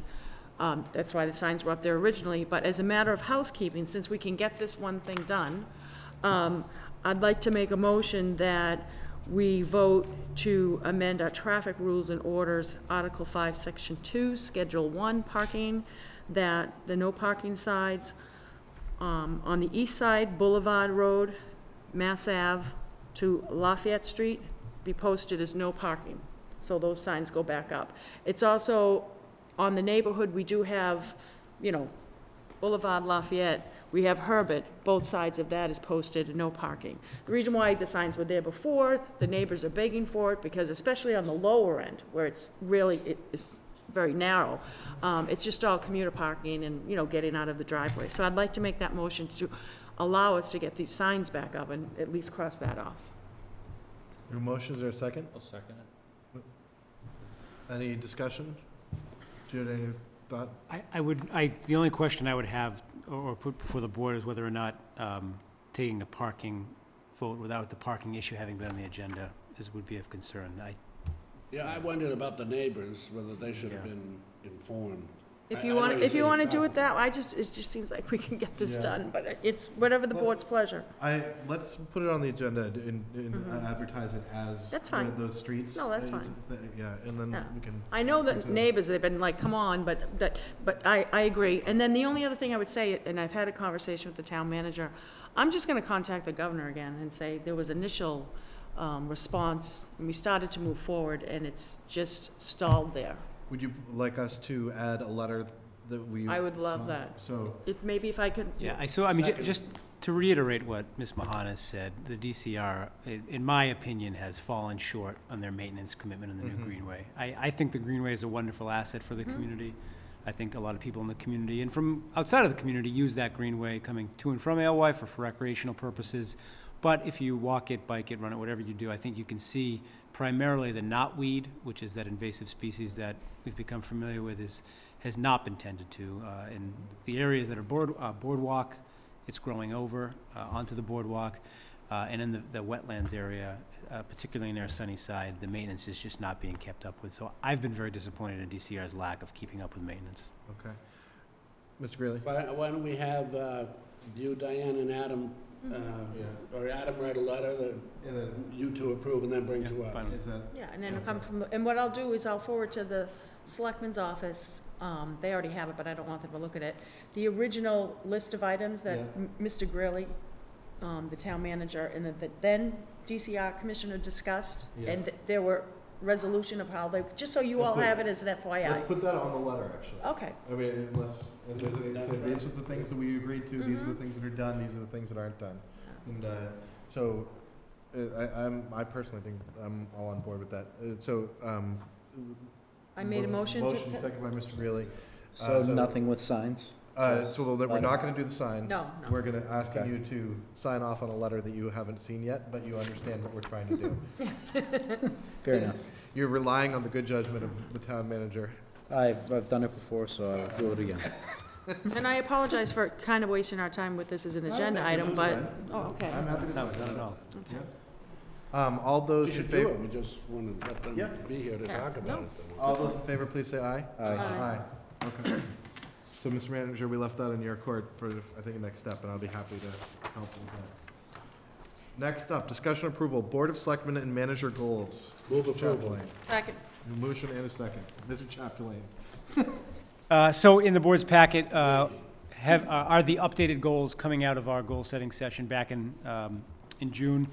Uh, Updated them, revised them as we discussed, uh, attempted to capture best the, the board's comments for both the board's goals, and then make the town manager's goals match appropriately or correspond appropriately.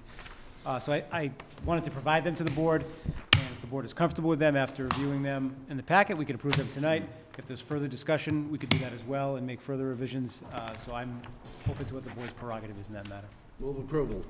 You already did that, Mr. Greeley. All right, just shake. And I already seconded it. Can, um, I'm completely fine with everything, but, um, you know, Thompson Schools on both of them oversee the completion and opening. Could we just take those off at this point? Would that be appropriate, or? Or we could approve them and then check them off as I complete. was gonna say, yeah, That's we have to get some a good checkoffs at start. the end of the Okay. year. Yeah. Sounds good. And the last shall be first. Seven B, continue to recruit and hire qualified professional exit employees at all levels of the organization. Ms. Rice. You gonna hire her back? I'm trying.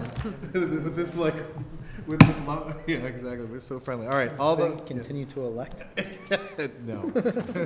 All those in favor, please say aye. Aye. Aye. All right. Thank co- uh, uh, Correspondence received. Move Uh, up- Move approval and recommend that we uh, refer the letter from uh, um, Ms. Dale Hughes uh, to the Public Memorial Committee. Second. Addition, could I suggest that Mr. Harrington's be referred to the town manager? Mm-hmm. He's the Yes, appropriate sir. authority. And Your the. wish is my command, Thank you. And the bylaw changes from John Warden, do we have to, I don't, I'm not familiar enough with that organization. Do we have to approve those, or we just, he's being? Well, I don't think so, right? No, that's a, uh, that's a He's just separate private informing us of organization, right, it's Then- just for your information. And also have- asking if they have two openings, if somehow we could aid in- That's a in good- gathering. I don't know if he's asking us to post it as an opening, maybe We can certainly comment, th- uh, thank you, that part of that uh, notification, which I appreciate from Mr. Warden, is that the Preservation Fund is looking for a couple board members, and that's part of the reason they made this change, is because they're looking for a couple specialties. It's down the bottom of page Yeah. one. Finance officer and a real estate agent. Yeah, who want to join their organization. All right, so we have a motion, um, and I'm sure we had a second. Mrs. Mahon, I'm sure seconded it. No? Not that. Second. Mr. Burns seconded it. All those in favor, please say aye. Aye. Aye. Why wouldn't you second it? Because Mr. Byrne already did, I jumped, I jumped quick on the, ma- on our goals. I would say, I'll third it. I thought you didn't want to for some reason. No, I feel like I'm hogging, I'm trying. Uh, Marie, uh, we're on new business. Shortest in history, Marie. New business, town day, town night, September twentieth, town day, September twenty-first. As of today, we have two hundred and one booths. Um, hopefully we're gonna finalize everything and have have everything done this Sunday. Uh, we have several crafts, a lot of good people, a lot of interest groups. Hopefully, uh, we're going to great good weather.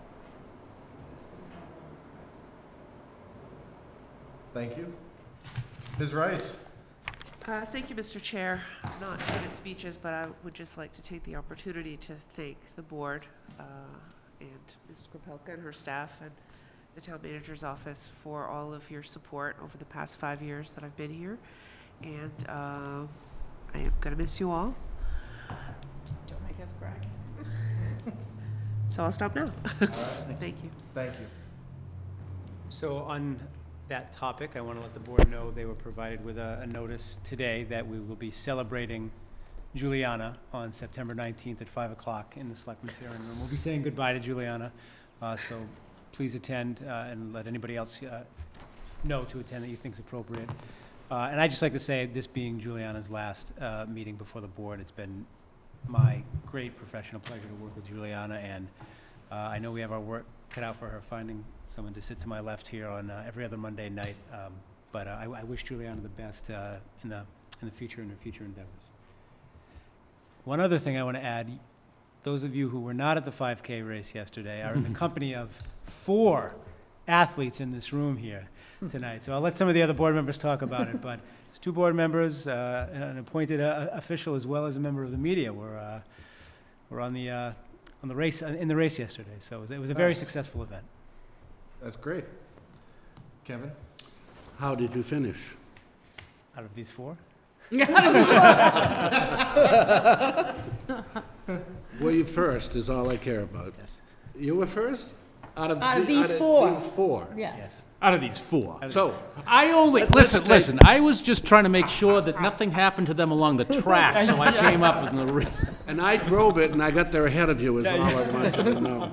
But, uh, no, the only thing, you know, where we do have another meeting after this, I just would like to also publicly thank Juliana for her outstanding service. Um, I hope that these five years you have enjoyed working with us here in Arlington as much as we've enjoyed having you here. And we will be calling you weekly to get things done in the AG's office. Sure. But, uh, thank you, Juliana. We'll be less without you. Diane?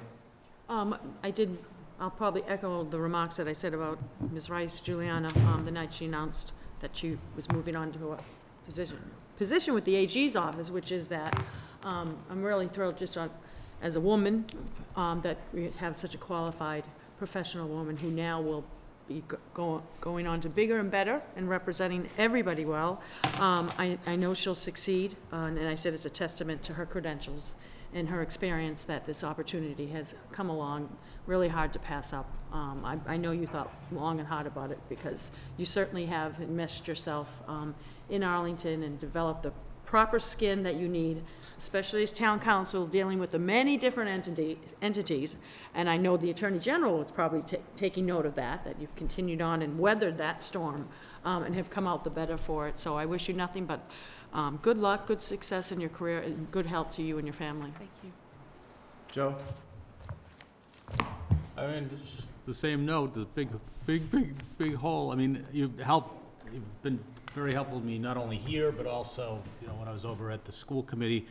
I- And, and I did want to say, one thing I forgot to say the last time is that, uh, right after Steve and I were elected, I think the first, one of the first people who called us and said, um, made themselves available to sit down and, and really review things with us was Juliana. She said, would, would you like to have a briefing on, you know, policies and procedures and, and, uh, you know, matters of, of import to a new board member, and she has a big manual that she put together, and, and she, she went through that with us, and, uh, she called and contacted us and, and, and offered that, and it was, um, just a great start to this, this, this this stint, so, um, we hope to see you around, uh, ar- around town.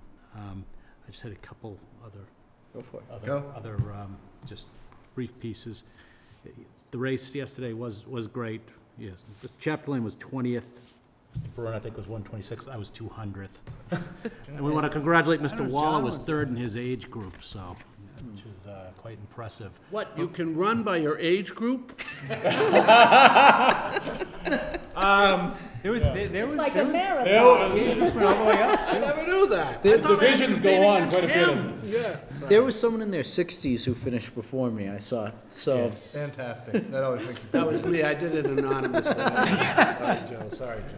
No, that's fine, and there were a lot of volunteers out, there were a lot of people with signs and such around, the- around the town as well, as well as the police, so it was really well coordinated and, and uh, a lot of involvement, and, uh, I think last year they raised about five thousand, they had to raise more than that this year, there are two hundred and seventy-five runners, so. uh, Great, Excuse me. great event, um, and I hope we can keep it, keep it going. Um, we want to, uh, remind everybody about Thompson on, uh, those who are around, I think it's this Sunday at This two Sunday, two o'clock o'clock. is the official opening, although all reports are that the kids have been going, it's been great, and the school is beautiful. I haven't seen it yet inside, so I hope I get a chance um, uh, then.